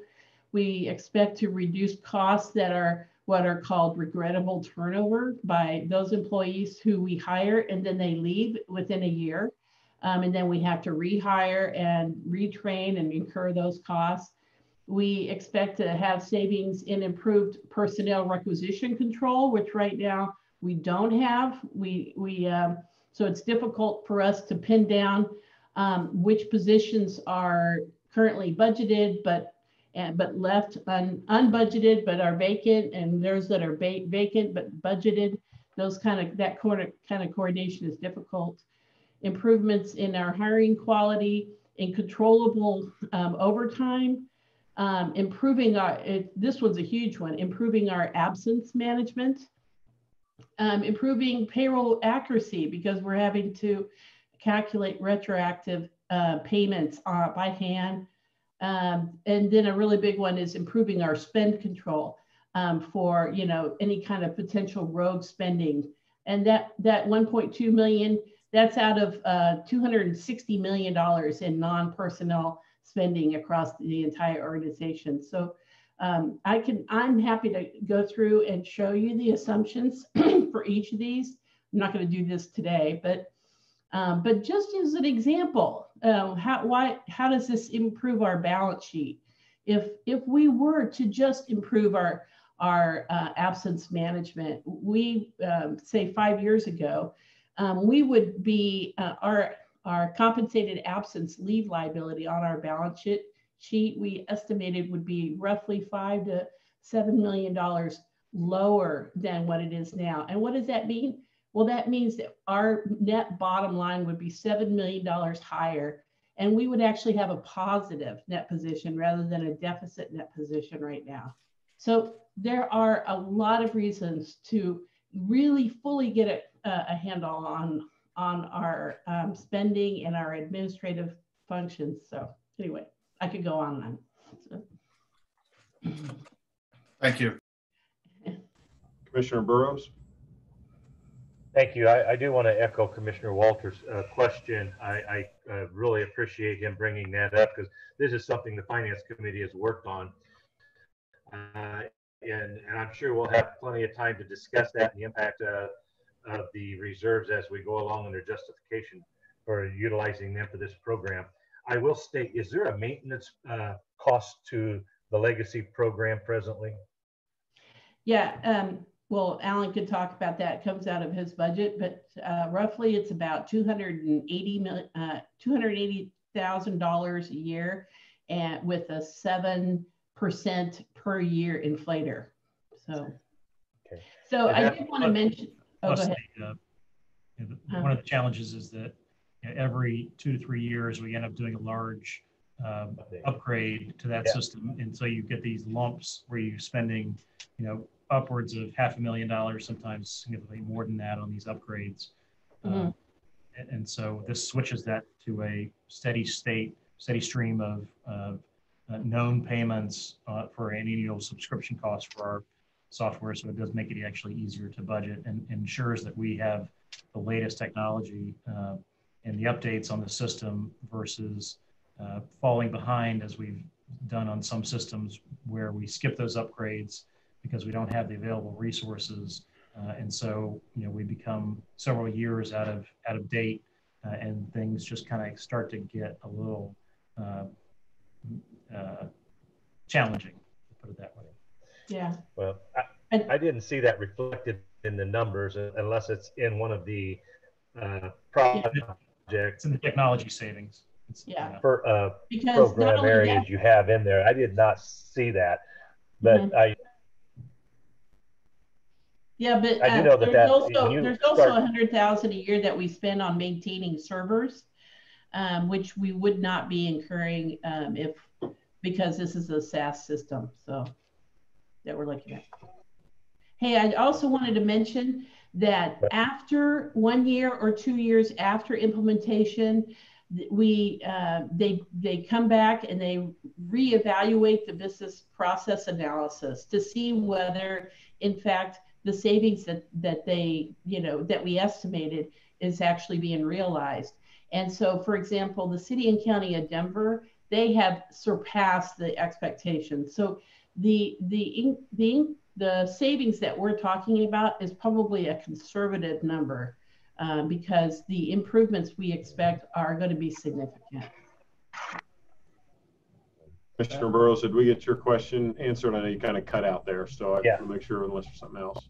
Well, thank you. The question was answered. I do know that there's some savings due to the uh, antiquated maintenance that is, is uh, demanded on the old system. I just want to again echo my support for a new system. I think in the long run, we will benefit in the next three years. I think we can look back as as commissioners and as a as a government body and be uh, grateful that we had an opportunity not only to uh, update our system but to invest in modernization of our local government. And uh, I I'm in full support of this, and I will continue to do the research necessary to assist in whatever we can do to move this forward. And I do hope that the Finance Committee has a chance to go back and review some of the uh, funds that Kathleen talked about earlier. And I, again, I want to echo Commissioner Walters uh, in bringing that that issue forward because it has been a point of discussion throughout the budget. Thank you. Okay, Kathleen, you want to move on to the next section? Yeah, so the, the next section is a business case for the fire, what, fire station, the third fire station in the CMIP, which is fire station number four, Bethel, that also includes a traffic division facility. And um, we're, I'm letting uh, Alan talk about this because he's got fire under his assignment, so. Thank you, uh, Kathleen. So this is the uh, kind of the next uh, increment in the fire master plan uh, that has been presented to the commission in terms of the station replacement plan. Um, and so this is up around 80th and Leavenworth uh, is where Station 4 is currently. And the it is a combination, as Kathleen mentioned, between potentially between a fire station and a new police station. So the police department recently moved their uh, traffic facility uh, over onto Parallel after uh, vacating a leased property on Leavenworth. And so looking for a more uh, permanent home for that facility and has, has been done uh, with other stations to do a co-located facility that would include both fire and, and police. Um, so again, this is continued investment in the uh, renewal and refurbishment and replacement of fire stations uh, that are that are needed uh, and have been identified through the comprehensive planning uh, on on the behalf of the uh, of the fire department. if the fire chief would like to uh, add anything if he's on. No, I'm on, Alec. Can you hear me? I'm on. I apologize for no camera. Got a new uh, uh, computer, and because of COVID and everyone zooming and Skyping, there are no cameras available. So I apologize. Um, open for questions on this. This is going to be a station similar to the one uh, where Pumper 19 is on 80th Terrace and State, along with the uh, police facility at the other end. Uh, and that's pretty much it. You've all, you, we've gone through this in the on threes. If there's any additional questions, I'd be happy to answer them.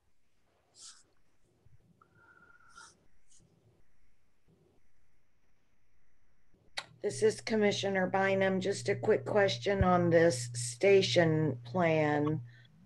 I know that we're going to open Piper. And the next one in the plan, if I'm not mistaken, is Turner. And is this the third one after that? No, the, the next one after that is Muncie Station 20, currently at 70, 78th in Kansas. Okay, And then this would be the one following that. okay, thank you. You're welcome.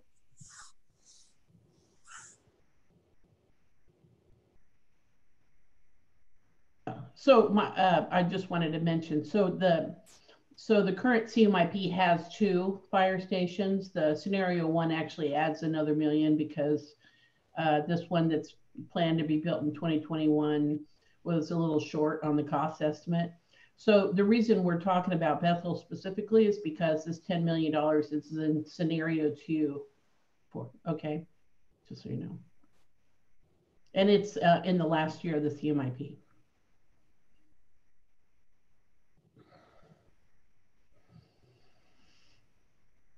Any other questions on the fire station? I don't see any, Kathleen. Okay.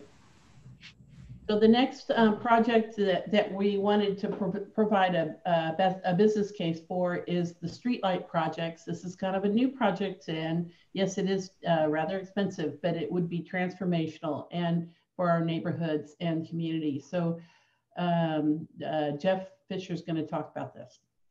Thank you, Kathleen. Uh, unfortunately, the condition of the streetlight system is similar to other infrastructure. Uh, much of it's very uh, old and outdated and uh, it takes a lot to hold it together. There are over 20,000 lights in KCK, almost as many poles, and uh, of course, a lot of infrastructure powering that system. Uh, we know much of the work, much of the needs are east of 635, and so that should be a, a sort of a phase one of a project. Uh, the project priorities would be improving system reliability and driver safety, and then reducing O&M and um, investing in our neighborhoods and reducing energy costs through an LED uh, component to it. so it's a strong project. Um, I think it scored well in, in the new uh, system. And uh, so I'll take any questions on that.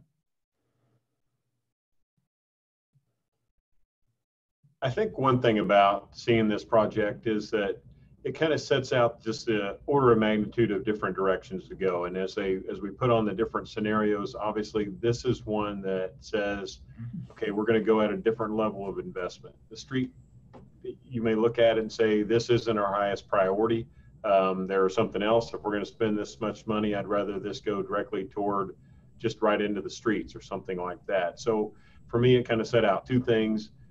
This is a very dynamic change of something that modernizes the entire city over a five-year process. It's one we've had a lot of conversation with the the BPU about. Um, uh, you know, they're charged with um, paying the cost of street lighting, and they're also charged with the cost of they go out and do a lot of the maintenance on that. So the savings falls back on their end. It doesn't necessarily fall back on our end, um, but it would be a very dynamic change. There also could be other ways to go if you want to, you know, leave the millage in there um, toward that. Commissioner Walters.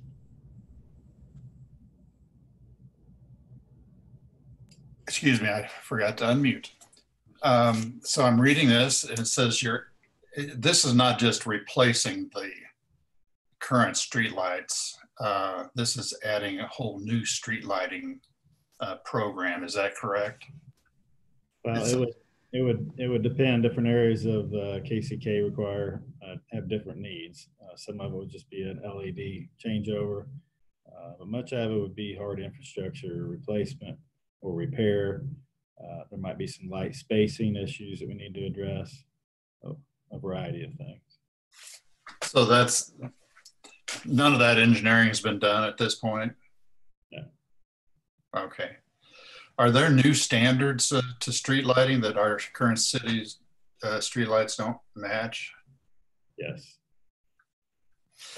Um, I'll just mention the, the, there is one neighborhood that I get a lot of calls about street lights and uh, the problem is not the street lights, the problem is the trees. Uh, there are so many trees that have grown and matured and um, I don't know if this program would address that at all, but uh, the streets are dark because of the trees, not because of the street lights. So I just bring that forward for you to, you know, factor into your thinking process a little bit. Thank you. Commissioner Philbrook. Um, so my um, my question is runs just kind of along with Jim Walters and and that is so it sounds like we're going to be paying attention then from your answer, Jeff, is that we're going to be paying attention to uh, appropriate lighting engineering. So we actually get better better lighting overall and which would which would help excuse me with uh, safety issues. And because i know that most of us get calls constantly about lighting being out and then bpu is trying to catch up on taking care of those outages and in the meantime people are concerned and rightfully so that they don't have the lighting they feel they need to be safe where they are. So are we looking at this not just saving money, but also being able to do a better job uh, for our folks for lighting and for safety? Well, that is a primary objective is improving roadway lighting. Okay, well, we still have areas that, you know, people act, some people actually do walk uh, on sidewalks and that sort of thing. And we have other areas that we don't have sidewalks. So I'm hoping that as you guys look at this, that you really are paying very close attention to um, the placing um, or replacing of these uh, new lights. Absolutely. Commissioner Johnson. Okay. Um, thank you. Um, I I am in full support of this um, the streetlight project. I, it seems to me that if we don't uh, at some point make the investment, uh, the the cost of this uh, will continue to go up and, uh, and up. I think uh, I remember a few years ago, and I might have been under different uh, different factors, but a few years ago we were talking about a number around ten million dollars, and now we're at fifty million dollars. Um, so I think we need to go ahead, uh, uh, particularly on the eastern side of town. We have a lot of lights that are knocked out, and, and, and it's just you know a lot of dark areas there. Um, this system, the question I have is, this system will it be better monitored by BPU in terms of knowing when we have outages and being able to recover? I'm just curious about that from an operational standpoint. It's a good question. The estimates, the $50 million estimate, uh, we believe would include certain controls on the system so that BPU knows when a light is out. Uh, they could even turn off a light or dim lights uh, for various purposes. So yes, be some controls on the system that we aren't there now. Yeah, that that that would be wonderful to be able to have better control of that. And this will pay for itself over what period of time in in terms of estimates? I might have missed that somewhere. Uh, well, we haven't, we don't have that sort of, uh, the payback is a tougher thing to estimate. Uh, Okay, but we can't assume that there will be some benefit as is already identified in terms of economic benefit, reduction in operating costs and things of that nature. Absolutely, yeah, the O and M would be, would go down. We do have some idea of O and M, but I don't recall what that is, Commissioner, I'm sorry. The, um, no problem. Obviously. the savings on this becomes a difficult, um, if we were a, a paying customer, the Board of Public Utilities, and they were a private company, um, then you can go through and you calculate what your bill would be each year and then reduction from the LED cost and then and calculate that and come back on it. So we've sat down with the BPU a few times on this and and while it would not be a direct savings to the unified government, we feel like there would be a savings to the Board of Public Utilities. Uh, though since they generate the power, they've had not really been able to come up with just a real clear number to say, well, this is what it'll save us per year we're hoping to work through this. And I and I will say, in in putting this out here tonight, um, earlier in the year, as Jeff and his team were working on this, you know, it was like, okay, this is exciting. This is a, something that really could be good to put out. We've talked about it for probably a couple years from a staff perspective going through it. And it's like, okay, it's time to get this in front of the governing body and we have the real opportunities to maybe move forward and um, and do something currently with um, uncertainty and where we are going forward, I would never, I would not come to you and say, let's build this into the 21 budget and let's start now and see what happens with uh, future revenue flows and the value of all our money. Um, so, but I still wanted to put it out there, make sure the team had the opportunity to present it, and then look at it as getting it on for future. Because if we don't get things into that future five-year budget, then they never make their way forward but wanted to get this input back from you all as if it's something that we do think this is a high priority and how we should try to work it in. Well, I, I certainly think it's a priority, but I think my concern is that the longer we wait on this, and certainly we're aware of the the condition that we're in right now, but the cost of this is just going to continue to escalate with each passing year. So, just something that we need to consider as well. Okay, thank you, Commissioner Bynum. Thank you.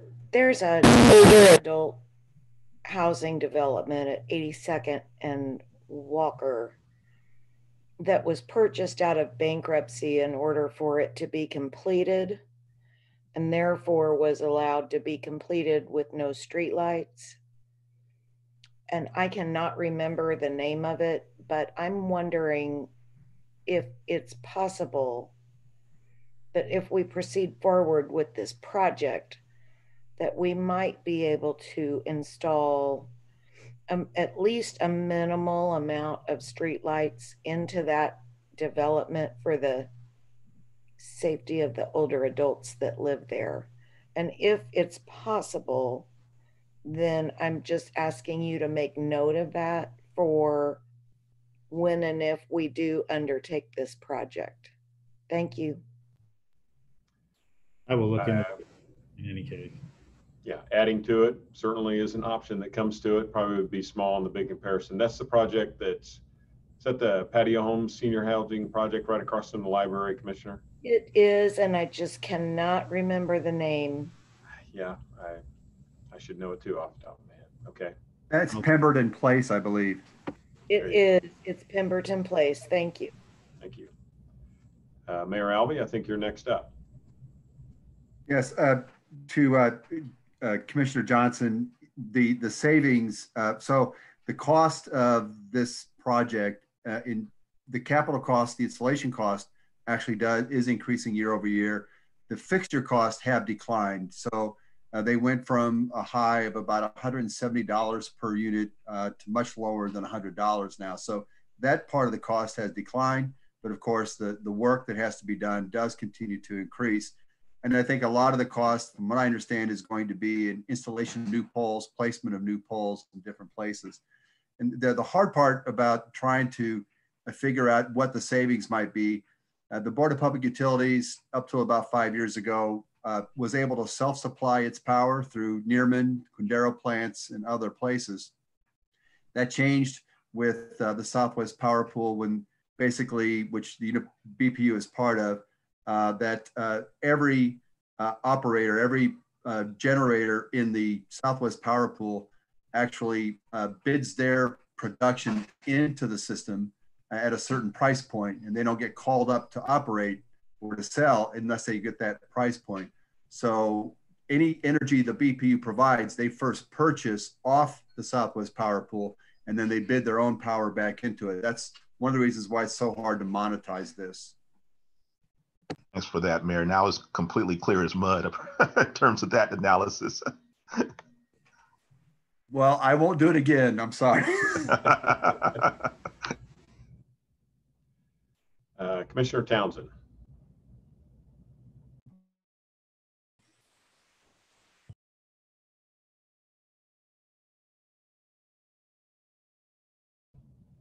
Commissioner Townsend?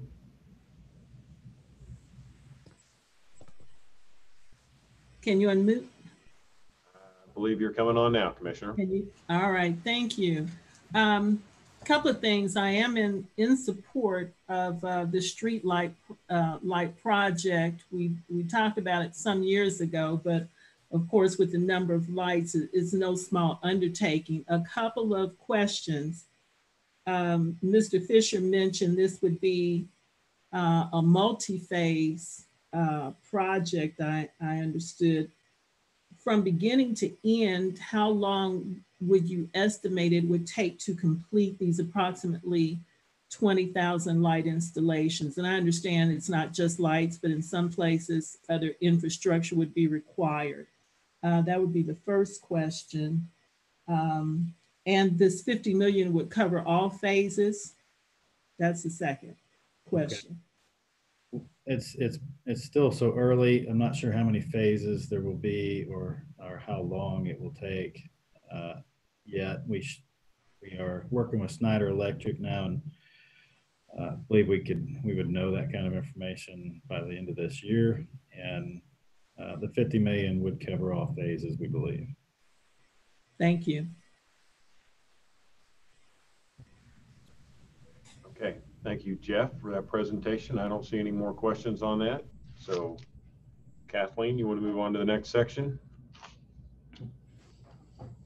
All right, so now uh, we get to the debt affordability, affordability questions, which Commissioner Walters brought up earlier too. So um, wanted to tell you that this slide looks a little bit different than what you have in your packets uh, because, uh, well, we added a few things plus um, a few columns uh, just for information. But um, also, you know, we did a little tweaking, so I apologize.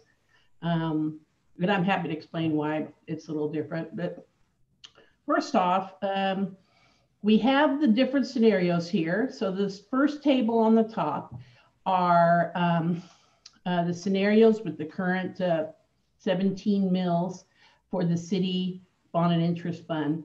And then the table below is if we were to shift one mill out of the um, city bond and interest fund over to the city general fund or reduce it, you know. Um, in, in any case, the revenue for one mill would not be coming into the city bond and interest fund with this table below. Now, one other thing we did was um, we um, I added this first column here so that you had a, a feeling for what type of reserve level this fund should probably retain every a minimum reserve target. And it's only 5% of tax revenues because it's not you know two months like an operating fund. It's because um, this fund doesn't have any fte or personnel being expensed in it. Um, so it's not reliant for, on an operational basis. It simply is a rec- receiving tax dollars and then cutting checks for debt service. That's all it does, this fund. And the other thing is, in order to have a reserve, it would, uh, well, uh, the liquidity needs of this fund um, are such that on the like 20 days after the beginning of the fiscal year, we get one half of the property tax payment. So, and then the debt service for the is only uh, interest, uh, or yeah, interest in February. So the the so there's really not a lot of need for a lot of cash to be sitting in this fund at year end because there's a lot of cash that comes in very soon at the fiscal year and very little goes out um, during the first half of the year. So, so that's why we have a reserve fund of just 5%, all right? Um, the, uh, so here we have a modest scenario and a worst case scenario. And I'm gonna go through those assumptions with you here in a moment. Um, but uh, for the most part, the modest scenario is what we expect will happen um, given a, you know, a moderate impact of the COVID um, pandemic on our revenue structure in this fund. And then the worst scenario is if there's a prolonged impact into the future. Now, these fund balances are, of course, the difference between you know what's sitting in the checking account and what we collect in revenues minus what we expense for the next five years. So this is a fund balance we project in five years from now. Um, this isn't for very, you know, next year, it's five years from now. um, so uh, for each one of these scenarios, I have a slide that um, has graphically shows how, um, you know, over the course of the years, how the performance of this fund in this given scenario looks. So I'm happy to, you know, show that to you as well. Um, the, the, over here, we've provided a governmental debt per capita, which is um, a calculation that our new model provides us. Um, so along with many other debt ratios that um, we've had difficulty to provide in the past. So, and then the last one is another ratio called the governmental debt as a percentage of assessed value. Um, and then I've just provided a little comparable, you know, comparable entities and how much their their ratios are. Okay. So currently the adopted, uh, so just real quick to go over the, the assumptions, I'm to I'm going to race forward to this one slide that we didn't want to bore you with, which is uh, the revenue assumptions on a modest case uh, revenue um, scenario. So um, for the most part, here's the key one, because see, this fund only pretty much collects um, property tax revenue. And we don't think that property tax revenue is going to be dramatically impacted by the COVID.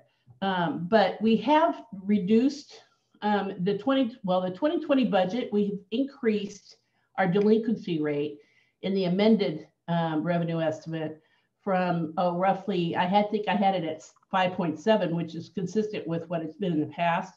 I've upped it to 9% in delinquency. So that was the only change I've made in the 2020 budget is, you know, to accommodate the expectation that we may have some residents that are going to have trouble making their property tax payment this year. Um, and so, and that assumption carries into 2021 and 2022 with it recovering in the in 2023.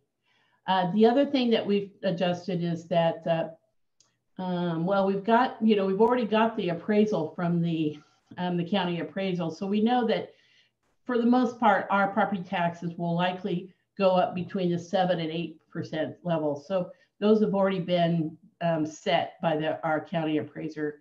But in the next subsequent year, perhaps there may be a likelihood that uh, the property values will be growing at a low, lower rate than what they have in the past. So I've got it at 3.8 at 8% with it recovering in the subsequent years off that lower base.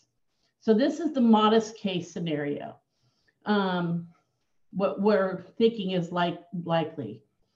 The next one is the worst case scenario. And here, um, I, I still, this is the, well, I, I forgot to put the, the years up here, but this column here is 2020. And then this column is 2021. So 8% rather than this, rather than the uh, 7% I have in 2021, I've upped the uh, delinquency rate by basically one percentage point across there. And uh, the other thing that I've done is down here below the assessed value. Um, I've got it uh, in 2021, uh, dropping the flat to zero, and then only increasing by 2%, 2% in the subsequent year. So, um, so this is a dramatic reduction in the property values. All right, so this column right here, this column with the 0% is 2022 or 2021. No, 2022, sorry. Yeah. So, yeah. Okay, and then this is, so the thing is, uh, uh, we're not talking about 2021 because the county appraiser already came in with her uh, appraisal. So we're talking about 2022. There's a delay um, in the uh, economic impact on property taxes of at least one to two years. So that's why, so that's the worst case. Um, so going back to the slide we were talking about before.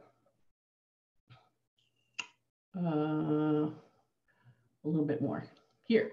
All right, so um, with the adopted budget, we expect the ending fund balance for the city bond and interest fund to be $12.1 million at the end of 2025. Under the worst case scenario, it would be 6.6 million. Um, with scenario one, which is, and all, all scenarios one, two, and three include um, the uh, transfer out of um, reserves for the ERP system. Okay. Uh, so uh, the scenario one, we would end the year with 9.2 million at the end of 2025. And under the worst scenario, it would be 3.8 million. Now you understand this is five years out. So if the revenues were in fact dramatically reduced to the level um, uh, as expressed in the worst case, scenario, um, we can make corrections in terms of what kind of uh, capital investment we're going to subsequently do in order to diminish any kind of impact. But understand that 3.8 seems like a lot lower than what we're at, but but our reserve minimum reserve is 1.4. We really don't need that much. Um, is there a question? I don't see anything, Kathleen. I think somebody just had some feedback on that Okay, so scenario two includes the additional investment in street preservation. Is that me? Am I feedbacking? Hello? Um, can't tell. Hard to tell. Um, all right, so scenario two, uh, we would end with uh, slightly lower at 8.6 or with the worst case 3.2. Um, the interesting thing is scenario three with that $50 million investment in streetlights, we would end um, under the modest case with, we would still end 2025 with under the modest case with 6.5 million and, and with the worst case $1 million, which is below the minimum target. Now, down below here, if we were to do all these three scenarios under the worst case, and we shifted a mill out in 2022, which by the way, we looked at doing that for 2021, but we felt, uh, I just didn't think it was a prudent thing to really be doing um, while we're a little unsure about what's happening with COVID. So we're, we're presenting you this scenario, uh, possibly shifting a mill out um, in 2022, um, which is next budget year. Um, under the uh, under the modest case, it's affordable to do that mill shift, as Commissioner Walters has talked about. Um, if this if the revenues come in much lower, if uh, assessed value is flat in 2022 and then only increases by 2% in the subsequent year, then it's probably not advisable given the fact that we're projecting a negative fund balance. So so now I have a slide, a graphic slide for each of these scenarios. Well, the top, these top four up here, which I'm happy to show you. Um, should I show one or two of them? Um, Doug? Or... I have a question from Commissioner Walters first. Yes, just a quick question. Why do you keep talking about shifting? Why are we just not talking about reducing the mill levy for the bond and interest fund? I, I think she's probably using that as a, just a term. I mean, that would be, that would be your option. I mean, you reduce the mill rate. Uh, shifting would only be as if we moved it, I guess, moved it Well, over I, to the I thought you, budget. I thought you were talking about reducing the bond and interest mill, but increasing the general, city general mill levy or something. So that's my question. Um, That would be an option, but no, I don't think that's really the intent. I think, I think she was using the term shift as in shift it out of it as far as. Thank uh, you. Expense.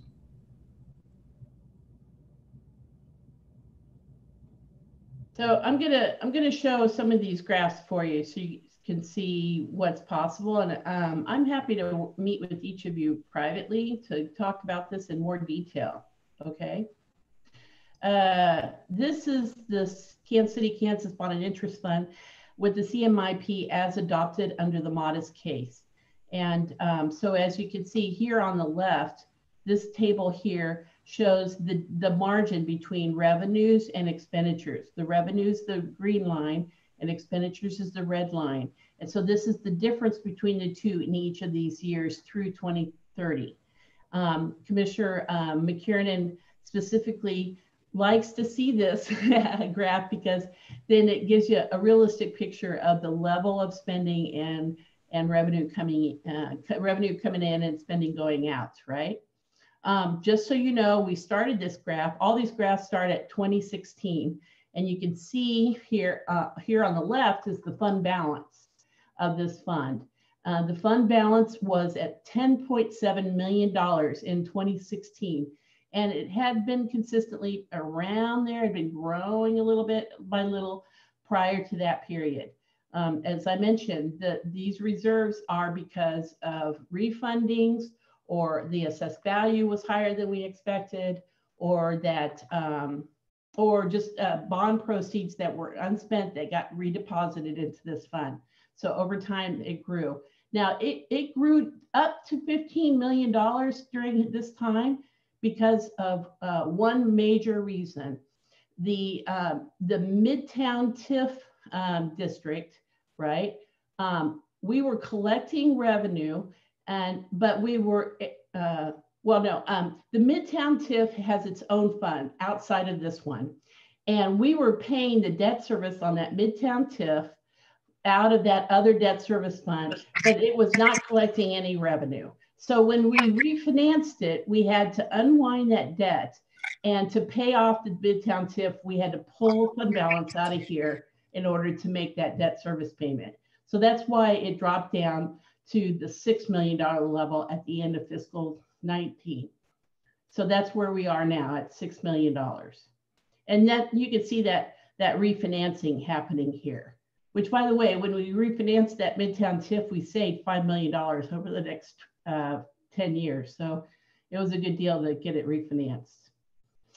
Um, over the course of with the current adopted CMIP, um, even with the so, so yeah, with the current CMIP over the next 20 years, we'll, or to no, 10 years, we'll um, grow a fund balance of $45 million, given our current uh, CMIP plus 15 million a year beginning in 2026. Okay. Um, if we were to go with, uh, and by the way, I just wanted to point out there's another slide here.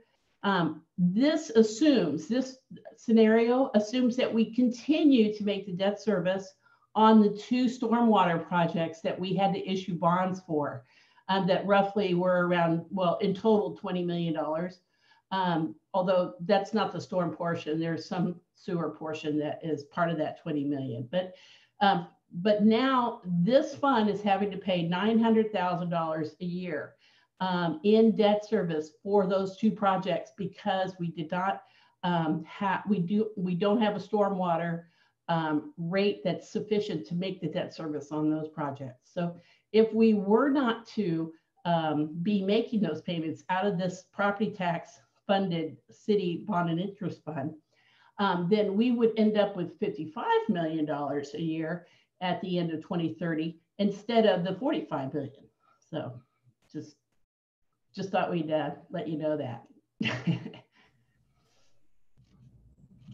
Any questions? So, Uh, we have uh, a question from Commissioner Markley, Kathleen. all right. Okay, it's not actually it's not really a question. It's more of sort of a statement. I feel like sometimes as we get into more detail, it um it can become difficult for people to filter out sort of the main point of the discussion. So I'm going to make more of a statement and then I want you to tell me if I'm correct or not. So really the whole point of today's presentation is that we are in a position where it would be appropriate for us to spend down some of the balance in this bond and interest fund. And we can't just take that money out of the bond and interest fund and put it into the general fund, which would be lovely, but we are not allowed to do that. So we're discussing what are the options that would allow us to get done some of the projects that we want to get done and to spend down this balance, which is we're in a good position to do because we have more money saved than we need. And then subsequently, there's sort of a separate discussion around whether going forward we keep putting the same amount of money into that fund because we know it built up more than it should have. Are both of those sort of accurate statements? Yes, that's yes. a good, good summary of the situation we're in. And I, I think Kathleen, you've gone into enough detail with that. I don't think we need to stay on that. I think we can go back over to our policy slide that I think is where we kind of go to next after this. Yes. Okay, good. Commissioner has done a good job of Mhm. setting that up. So Yeah. um, a- as we look at this, you know, that, as you said, you know, we have those stormwater projects over there, that's listed on here, but that's a policy discussion of if we adopt a stormwater program, we can still move them over. They're in debt right now. But we'll be moving those into uh, full financing next year and they will be under this fund, so they eat up part of that, that room. Um, It's looking at streetlights as a future scenario to build into the, into the budget. Um, The investment in our ERP system that we threw out there that is uh, one where we're coming in saying, you know what, with the money that's in the debt finance, this is an opportunity for us to do this. And our analysis of it shows we can, kind of going back to the PBB piece of it, we can save a few million dollars a year once we have this implemented. So that's a ongoing efficiency operating forever. And if you remember those PBB charts, we had one of them that said, back on our annual operations, there's areas we need to find it in. Well, this is one of them we identified and said we can come in and find it this way. Um, keeping money going after the, the street preservation, high on the survey, always been something the commission talks about doing. Um, we have the uh, fire stations that are programmed in for 21, 23, then we move on to 25 with one that goes with the joint station with the traffic facility. So it's it's it's how we leave those out there if we stay in scenario two. Um, augmenting other capital funding needs. So really that's where it comes down to it. Or it's um, so we have some scenarios we've shown where we can do it. We can I, I, like I said, I'm reluctant to recommend scenario three with the streetlights. I would not be ready to move on that next year. I think that's one where we should keep that in our back pocket as something to be future and see how our property tax revenues perform. And if that's a scenario you get or something you guys want to do, um, then we give that a more serious look next year. The the mill rate uh, does present itself the option to start to reduce it, and unless we see things fall off and keep falling off much worse than we really think it'll happen. Um, I think we can pay for those projects and drop that as a mill rate. Um, as she said, I guess Commissioner Walters, maybe the option would be, and we'd have to run that scenario to, to, to actually do a shift this year. I've thought about that somewhat to move it from debt over to operating for one year, let that fall into operating fund balance and then then we could pop it out in 22 but i wouldn't want to take it off until we know where how we get through everything this year so it's kind of the overall on the survey or overall on the policy where we're at i think uh, commissioner markley did a good job of summarizing some of the most uh, relevant points to it. So open to your thoughts and comments on this as we move forward. It's just or, super Mayor? exciting. Thank you. Mayor? Yes, you know, in general, I would just, you know, make the observation that the infrastructure across our city in so many ways is in serious need of repair. The longer we delay doing these projects, the more expensive they become. And I, I'm convinced that when we don't invest in our neighborhoods, when we don't invest in our, in our infrastructure, it is a very short route to losing pride, uh, losing a desire to maintain one's own properties, and uh, we will just continually see decline. And so, uh, as hard as it is to take on more debt, I would argue that if we don't take on more debt at this point or do what we need you know, in moving some of these funds around, uh, we're just simply going to continue to see deterioration across all of our infrastructure and to the point where uh, some, some things will just uh, become uh, unaffordable completely. Uh, Commissioner uh, Johnson's point that the, the cost, for instance, of the, the streetlight project that will increase over time, most likely. Certainly, we know what's going to happen with our stormwater. We've seen enough of that. We also know what our street conditions are like. So I think it's it's really our responsibility to step up and really take care of the infrastructure, just as we ask our residents to take care of their own infrastructure.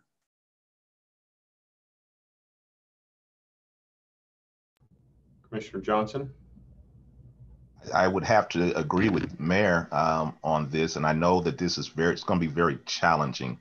Um, so I know we have to be um, as as open-eyed as possible to make sure that we're, you know, uh, taking care of our initial responsibilities. But uh, to to kind of pile on what he is saying, the particularly the older parts of town um, have been neglected for so many years. Uh, to, to the thought of continuing that type of neglect, uh, I think would really have a big problem on the overall morale that we're trying to build up through our neighborhoods. And so while I understand that the circumstances uh, that we're dealing with right now as they stand are, are, are quite challenging, um, I, I just would implore uh, us to try to figure out how we can, I guess, cobble together funds that will help us to continue to invest in infrastructure overall um, as, as we're looking into the future, uh, the, the immediate future. Um, uh, so that's what I want to make sure that I, I, I, implore that we try to find out areas where we can cobble money together to continue to, or to, you know, continue to make sure we're investing uh, in our infrastructure overall, particularly in the older parts of town. Thank you. Um, and that is a strong, strong move for the future of the community when we look at things like that. Um, second part of this, or the next part of this project, or the presentation tonight goes into the um, PBC, which is also a debt project. So it's not completely leaving, leaving the subject. It just changes the uh, funding source that we're looking at. So I know we are two hours and 15 minutes into this. So I, I think this part of it gets a little less uh, complex as we go through it, but we do still have some scenarios. So Kathleen, I'll turn it over to you to, to I believe Debbie has this part. So we'll turn it over to Debbie Jonscher and let her um, take us through these sections. Good evening, Mayor and Commissioners. Uh, Debbie Jonscher, Deputy Chief Financial Officer. Um, I apologize, I also do not have a camera today. Um, so um, the first slide that I'm going to go through, uh, Kathleen's covered some of this previously in her um, in the presentation earlier, but uh, we're going to talk about the county debt funded projects, which also includes the building uh, facility projects, which are uh, funded with the Public Building Commission. So we've got the scenarios for the county fund here. Um, the first one is the adopted CMIP. And as we stated earlier, there is uh, no additional debt uh, in the outer years approved currently for 20 years 21 through 25. scenario one would add about 8 million in projects. And I'll, in the next slide, we'll have a list of those projects, but it includes improvements uh, for the courthouse, uh, also for the West Annex, the, the Wyco Park water line repair, and the Quiet Zone Phase 2 in 2024. Scenario two uh, does not include any additional uh, facility or infrastructure projects, but it does um, add the additional 1.9% transfer that Kathleen talked about for the ERP system um, to be covered. So that would include that scenario would include the transfer of the 1.9 million. Scenario three adds in additional deferred facilities for the West Annex building totaling about 1.7 million uh, for the five-year total. And this slide here shows um, all of these projects. Uh, as we said, we've got about 8 million in scenario one. Uh, and then in scenario three, the additional West Annex improvement projects totaling about 1.7 million. Um, I was going to ask John Kelly if he wanted to talk specifically about any of the projects that are on the list? Uh, yeah, Debbie, I just I I do want to talk to some of the ones that focus on the courthouse and the the uh, the West Annex and the jail. Uh, you know, these are some things as we we've been working with Ameresco that we want to make sure that we bring to uh, you you and the elected body to uh, make sure if we feel that this is uh, something that we want to invest these dollars uh, into these facilities. We're going to be talking in a couple slides here about some of the things where we have some like services where maybe we can combine those type of things and talk about whether we're wanting to essentially invest. you know, we know the jail's not going anywhere, so those those dollars there are much needed. That is a system that we want to put in place uh, especially with the uh, recent COVID 19. Uh, those dollars are to talk about uh, putting in a system into all the air handlers. Uh, a lot of the people that come in and out of our jail have the tendency, tendency to have some health issues coming in or essentially maybe getting them from being in confined spaces with lot without a lot of air movement. So these are some pieces of equipment that we're looking to put in to ensure the the health of our inmates and then uh, as well as our uh, staff that work there. And uh, with the courthouse, we we know that's a historical facility that's a beautiful building and we want to make sure that we continue to put dollars into the courthouse that we can preserve that uh, historical value to that building. So it's just a few of the things, but like I says, further in the slide, we're going to talk a little bit more about the annex and uh, uh, the, the, the current court service building. You know, we're currently have a, a major investment going on with the new juvenile detention that will take some court functions over to that new facility. So there are some options that we're looking at and working with uh, Ameresco as well as my team and uh, uh, Mr. Fisher and Doug on how we how how we go about it for the future and how we may want to invest some of these capital dollars and uh, making better decisions.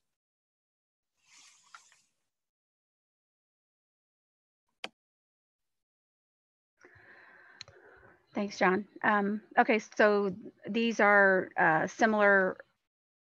This is similar to the graph that Kathleen showed for the city bond and interest. Um, and this is for the county. Uh, as with the city, this fund is uh, supported with uh, property tax revenues. So we've got the same information here. The minimum target minimum target reserve for this fund we uh, project to be about 300,000. The same with the city debt service fund. There is no uh, personnel paid from here. It is all, all of the funds are used for the payment of uh, principal and interest on debt. Um, and as she stated with, we've got the modest and worst case scenarios. Uh, as she stated with the modest case, um, the delinquency rate for 2020 was increased uh, to 9%. Um, and 7%, I think, for 2021. So with that, um, with the adopted CMIP, we would uh, estimate the, under the modest case scenario, the uh, fund balance to be 4.2 million. Uh, going all the way down, uh, if we went through scenario three, that would drop the fund balance to about 782,000, which is still above our 5% target reserve of 300,000.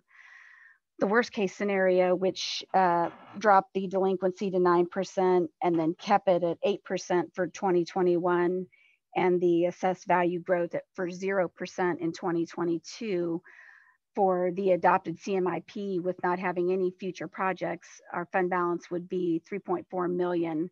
Um, with scenario one, it would be down to 240,000. However, with scenario two and three, which scenario two was the transfer for the ERP and scenario three was additional West Annex projects, that would draw the fund balance negative uh, if we were in the worst case scenario. So that would drop, um, if we if we were at that situation, it would, uh, doing scenario three would drop the fund balance negative. Um, and then she's got the same percentages, the, the debt per capita and the assessed uh, debt as a percent of assessed value. I just want to make a clarifying point. Um, actually, I, I, I um, failed to mention to Debbie that actually under scenario one, that this transfer would occur in scenario one as well. I just didn't put it into this table. I overlooked doing that. So actually this scenario one uh, fund, fund balance at 2025 includes the transfer of 1.9 million in 2021 and two. So. Oh, okay. Yeah.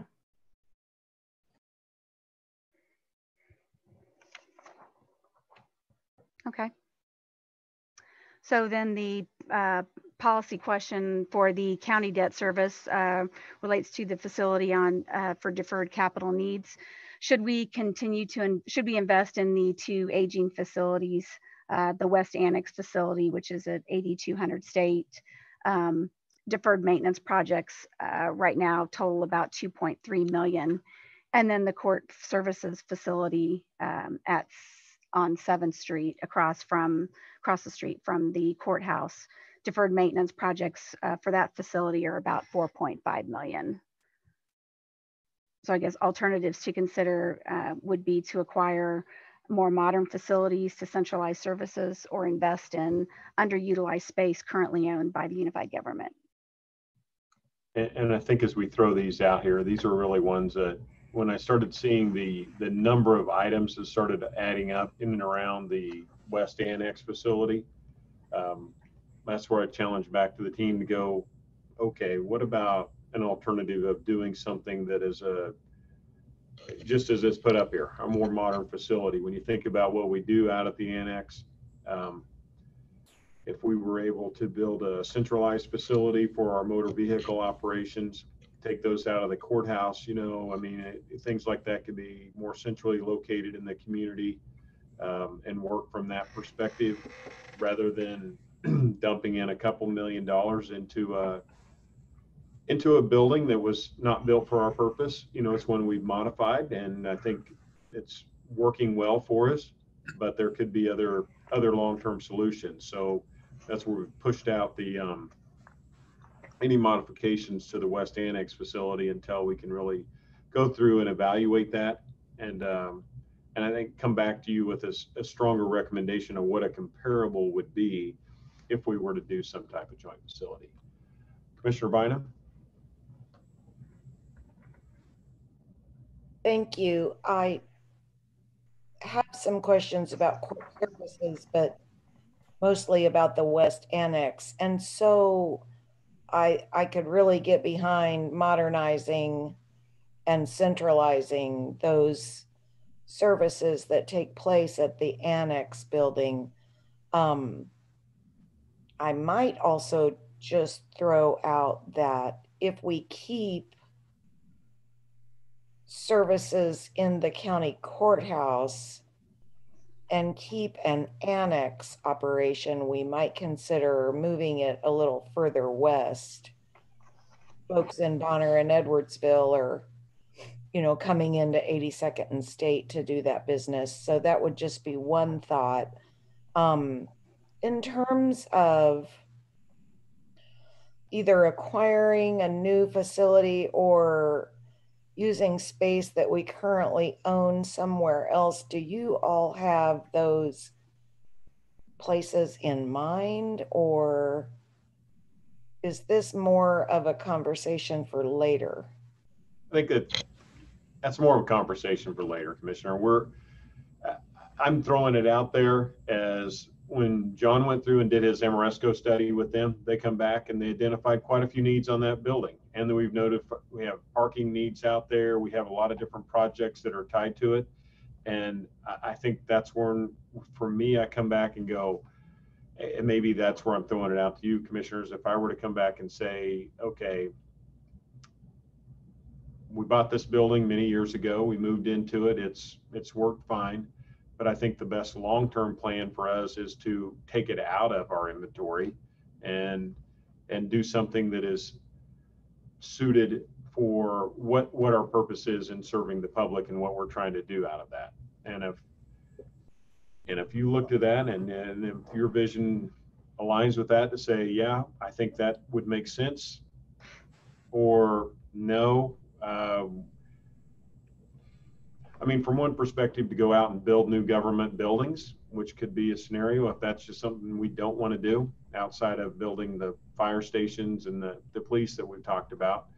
Um, but for other operations, if that's something where we look at that and say that's not a scenario we really need to be following down, then we can then we'll look at the modifications to this building or if there's some other. But Mhm. that's really what I wanted to get a feel from you all on.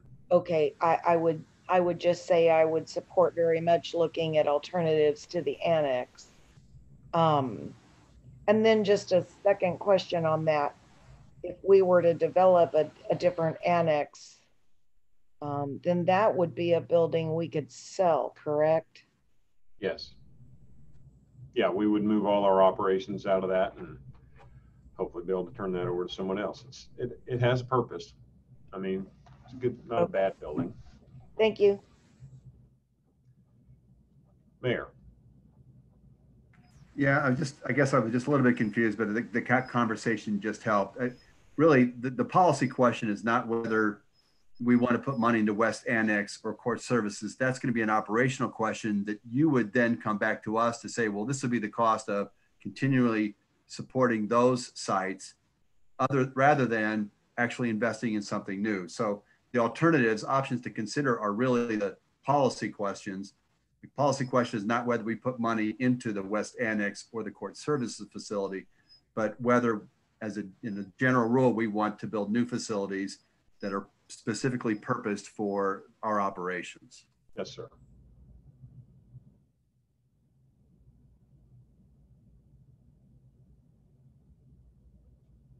Okay. Well, thank you for the feedback and um, any future feedback you give us would be appreciated as we look at this. Okay, so the, the next section that we're going to go to is the, um, the sewer and stormwater debt, which I think is going to be covered with, by Sam Herr from Public Works. Good evening, Mayor and Commissioners. Uh, this is Sam Herr, Public Works Fiscal Officer. Uh, I'm covering the sewer debt funded projects this evening. So from uh, 2021 to 2024, we have planned out uh, 49.6.5 million um, in projects. With the addition of uh, 2025 and new projects, uh, we add in 71.5 million uh, dollars of projects. Um, uh, over the next couple of slides, I'll look into the heart of what we do as a service and highlight a few key projects.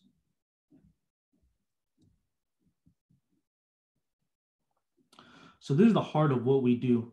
Uh, we serve our community while trying to, our best to protect our environment. Um, as the community expands, our services expand, um, and our focus is still um, on protecting our natural resources. Secondly, due to the dual uh, nature system that we have, uh, we not only work with wastewater, but we work with stormwater. We work to uh, minimize flooding, um, emphasize the protection of life and property. And thirdly, um, with our treatment plants, we strive to maximize our capacity uh, for wastewater collection and wastewater treatment in accordance with uh, state and federal regulations. Uh, these are the our three primary focuses um, of our operations with wastewater. In this slide, uh, we have three highlighted projects. Um, The first is the Wolcott Treatment Plant project. This project is currently underway. Um, it is estimated at $50.2 million. With this project being underway, um, we can see the light at the end of the tunnel. Um, and we're excited uh, to expand our service in the northwest part of our community. It'll also uh, take down flows and the service, uh, uh, reduce uh, service levels a little bit of the current uh, plant 20 in that area. The second project that we want to highlight is the Kaw Point Biosolids project. This project is a project that may stretch um, into the entire region and through uh, multiple communities. This project is very exciting because it opens doors for future uh, potential revenue opportunities through uh, reapplication of materials from this uh, process. This project is one that uh, we'll be covering more on the authorities at the end of the month. The last project that we have that we want to highlight is our asset management systems uh, program. So this is more than just a project, but it is a program um, to help us with our existing infrastructure, uh, sewer infrastructure. Um, it is a plan to help us rehab and rebuild um, infrastructure in older areas um, and help us maintain and uh, stay in line with the consent decree in the uh, ILCP. This is really a new way of thinking and considering um, our sewer system. So we're very excited to uh, review these two projects in this program with you. Um, we really want to remind you of the importance and the essential uh, services of wastewater. And uh, we would like to uh, remind you of the importance of additional um, investment in, storm, uh, in sewer infrastructure.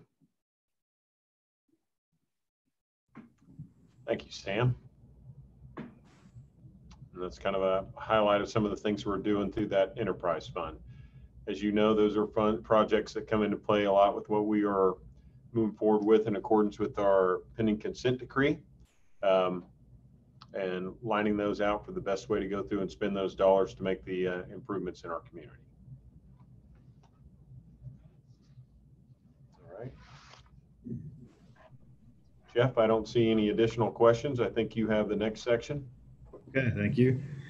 Uh, the content of these next two slides uh, should look familiar. Uh, uh we've got, this is the stormwater utility. Uh, the first slide here just represents um, this. It's a piece of the seven-year plan that were, was proposed and discussed back in January and February. So this is the five years of that seven-year plan representing the amount of uh, borrowing the stormwater utility fund would uh, would uh, take on. And those are just the three projects of the multiple that I'll outline here in a minute. Uh, so in the first five years, 21 through 25, these would be the three projects, and then there will be additional projects after that. Next slide, please. Um, you've seen uh, this slide and next slide. This is the outline of the capital projects for the seven years, $18.7 million. Um, just haven't seen it in this format, uh, but it is the same information we've discussed previously. Next slide, please. Again, this is the balance of those capital projects in stormwater totaling 18.7. Next slide, please. And then this is the remainder of that uh, work plan outline for that seven years. Uh, and you might notice at the bottom table, again, that's the Kansas levees betterment and uh, wing wall projects that are ongoing and currently funded through GO bonds and the general fund. Didn't want to spend a whole lot of time on that since we have discussed this uh, quite a bit here recently, but I'll field questions if you have some. Jeff, probably the takeaway that really goes back on this as you've thrown up here, you got $64.3 million worth of projects, but that's based on us having a additional funding source that goes towards stormwater. So without that, you're going to spend about a million and a half a year. Thank so, you. yeah, we're going to spend 5 million. We have 64.3 million we need to spend in the next five years, but we are on pace to spend, yeah, the 7 million, I guess, right? If you spend a million and a half a year. Right, and then the two projects that we have ongoing, and that would be, No, it isn't a million and a half a year. It's a million and a half over five years. Oh, Okay, so it's Yeah. 60, Hmm. $60 million worth of projects, but at our current pace, we'll spend 1.5 million. that's right. And I think you all know that, but I think we just have to highlight it. I don't know that we spend enough time on it on previous budget years to point out just the vast number of stormwater projects that are out there. They just fall into the unfunded category and then they disappear. So there is a huge need in this area. Um, and we're not shifting it over into the other part of the budget. Other than when they come up and they're urgent, like the two that are there now that are be taking nine hundred thousand out of our, uh, general fund operations. Um, I don't see any questions on that, so Jeff, I think you continue on, don't you? I think, um, So Reggie is next. He's going to go over these um, other debt funded and grant projects. Thank you. Can you hear me now? We can hear you, Reg. Loud and Great. clear, buddy. Cool. Hope I didn't make everybody dizzy when I was on last time moving around. All right, current slide, we have projects that fall outside city debt and public building commission on the county side. So these are either special revenue projects or they're grant projects.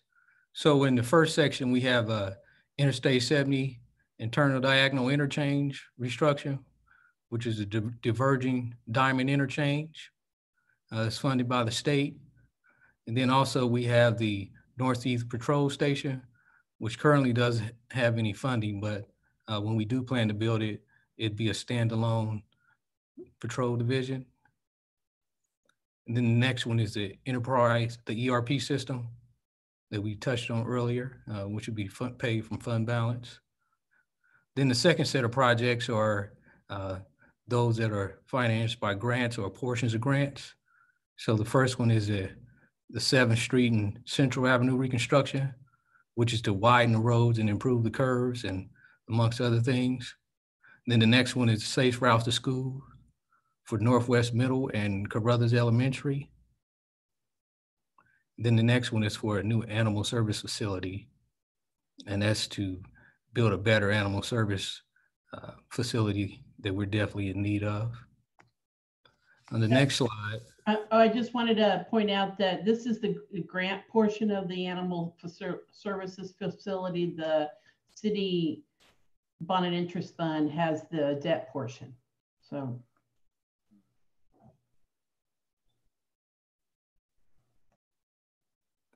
all right, next slide, please. So with our capital, capital process that we started back in October 2019, we have moved through this process and we have covered the green boxes here in most of the processes. So we have uh, conducted analysis on our capital investments. Um, We've used prioritization with our facility condition index, capital criteria, and then other prioritization tools that we have. And then we've also looked at the impact of, of the financials. And then we've also assessed the feasibility by using our core groups um, to make sure that there won't be any difficulty implementing projects.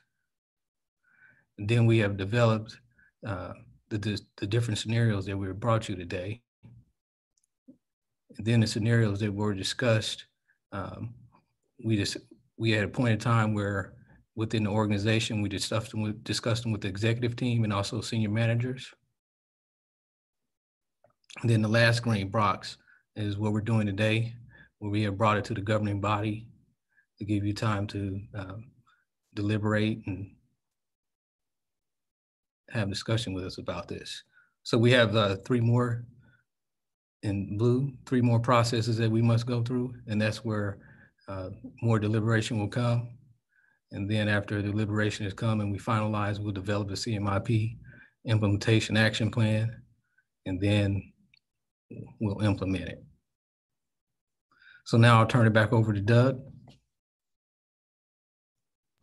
Thank you, Reggie. I think you laid it out well with those last comments. I mean, I think as as we've gone through this tonight, we've laid out the the different scenarios. One in the city general fund, um, that was within the uh, what's in the county side for those equations. If you look at scenarios one, two, and three um, in each of those areas, um, also doing the contrast about what we may be able to do with, or we should be able to do with our mill rate in future years. I think as you look at that county side of the equation too, that option starts to come into the into that too as we look out into probably 23. So you have some options as how much we're allocating money toward debt or not allocating as much money toward debt um, of what you might want to do with the mill rate. And I think that is where it falls in line with the policy discussion.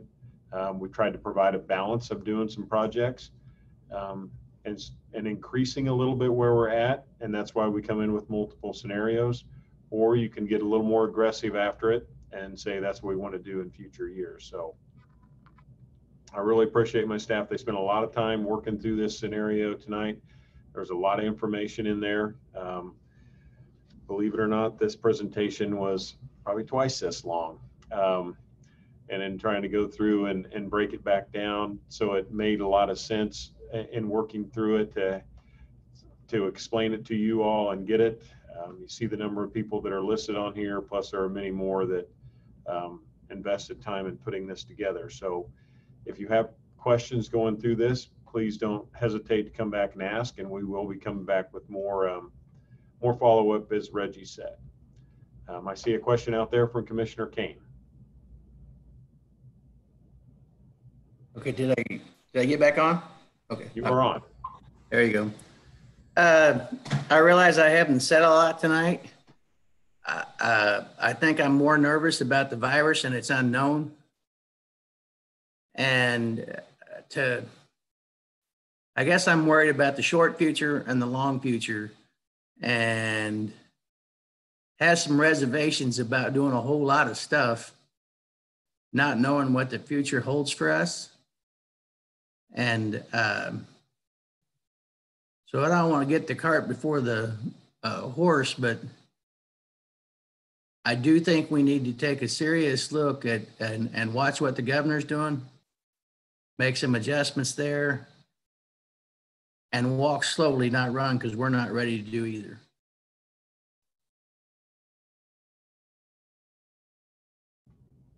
Thank you. I think you're you're right on it. It's uncertain times. So when we don't really know for certain what's going to happen, you know, we can make projections and you feel like property tax is one, which is where debt comes from or where we fund our debt from. And you feel like it's something that can stay stable, but it could be, could be up and down a little bit here until we know that it's, it's, it's number one where you want to go out and leverage a lot of it. Any other thoughts tonight? I think we are planning to come back next next week. Um, we may have some issues with that trying to work through, but um, as you saw in the month of May, we have some changes that are on our calendar because of the graduations that we had scheduled with both the sheriff's graduation and the um, police graduation are no longer going to take place as far as formal graduation ceremonies. We think even if the climate changes where you come, we're still not going to be calling a bunch of people together and and families into our commission chambers um, and such like that. So, in talking to the sheriff and the chief, they're making other arrangements with those with those groups so that what they can do to engage their families, they will, but they'll proceed with their graduations. But the other side of that is it does free up some time with our uh, our special session timeframes to to work with those time slots that we previously didn't have. So um, we'll be looking at those as we um, advance through our budget process with capital and operating in the month of May. Um, Commissioner McKiernan. Thank you, Doug. You certainly, everyone, I appreciate all the work that everybody's done. This is a ton of information that's going to require a lot of digestion, and I think you can count on all of us to come back with additional questions and maybe requests for clarifying information. I would ask if we have information that goes out next week that it be posted on Civic Clerk uh, typically, we don't have agenda packets associated with special sessions. We have agenda packets associated with regular commission meetings. And so when I went to Civic Clerk this week, all I saw was the notice of meeting. It didn't occur to me to keep scrolling down that there was a, a, PowerPoint attached to that. And so I would just ask that we separate the notice of meeting from any supporting materials so that we can see and download and review both ahead of time. Thank you. Okay, we will try to work on that so you don't miss anything. Anyone else? Mayor? I think we're done No, if we thank- don't have any other I- questions. No, I have no more questions. Um, no other hands raised. That concludes our special session. Thank you all for attending, for the presentations as well. Thank you. Thanks, everyone. Thank you, everybody. It was very well done.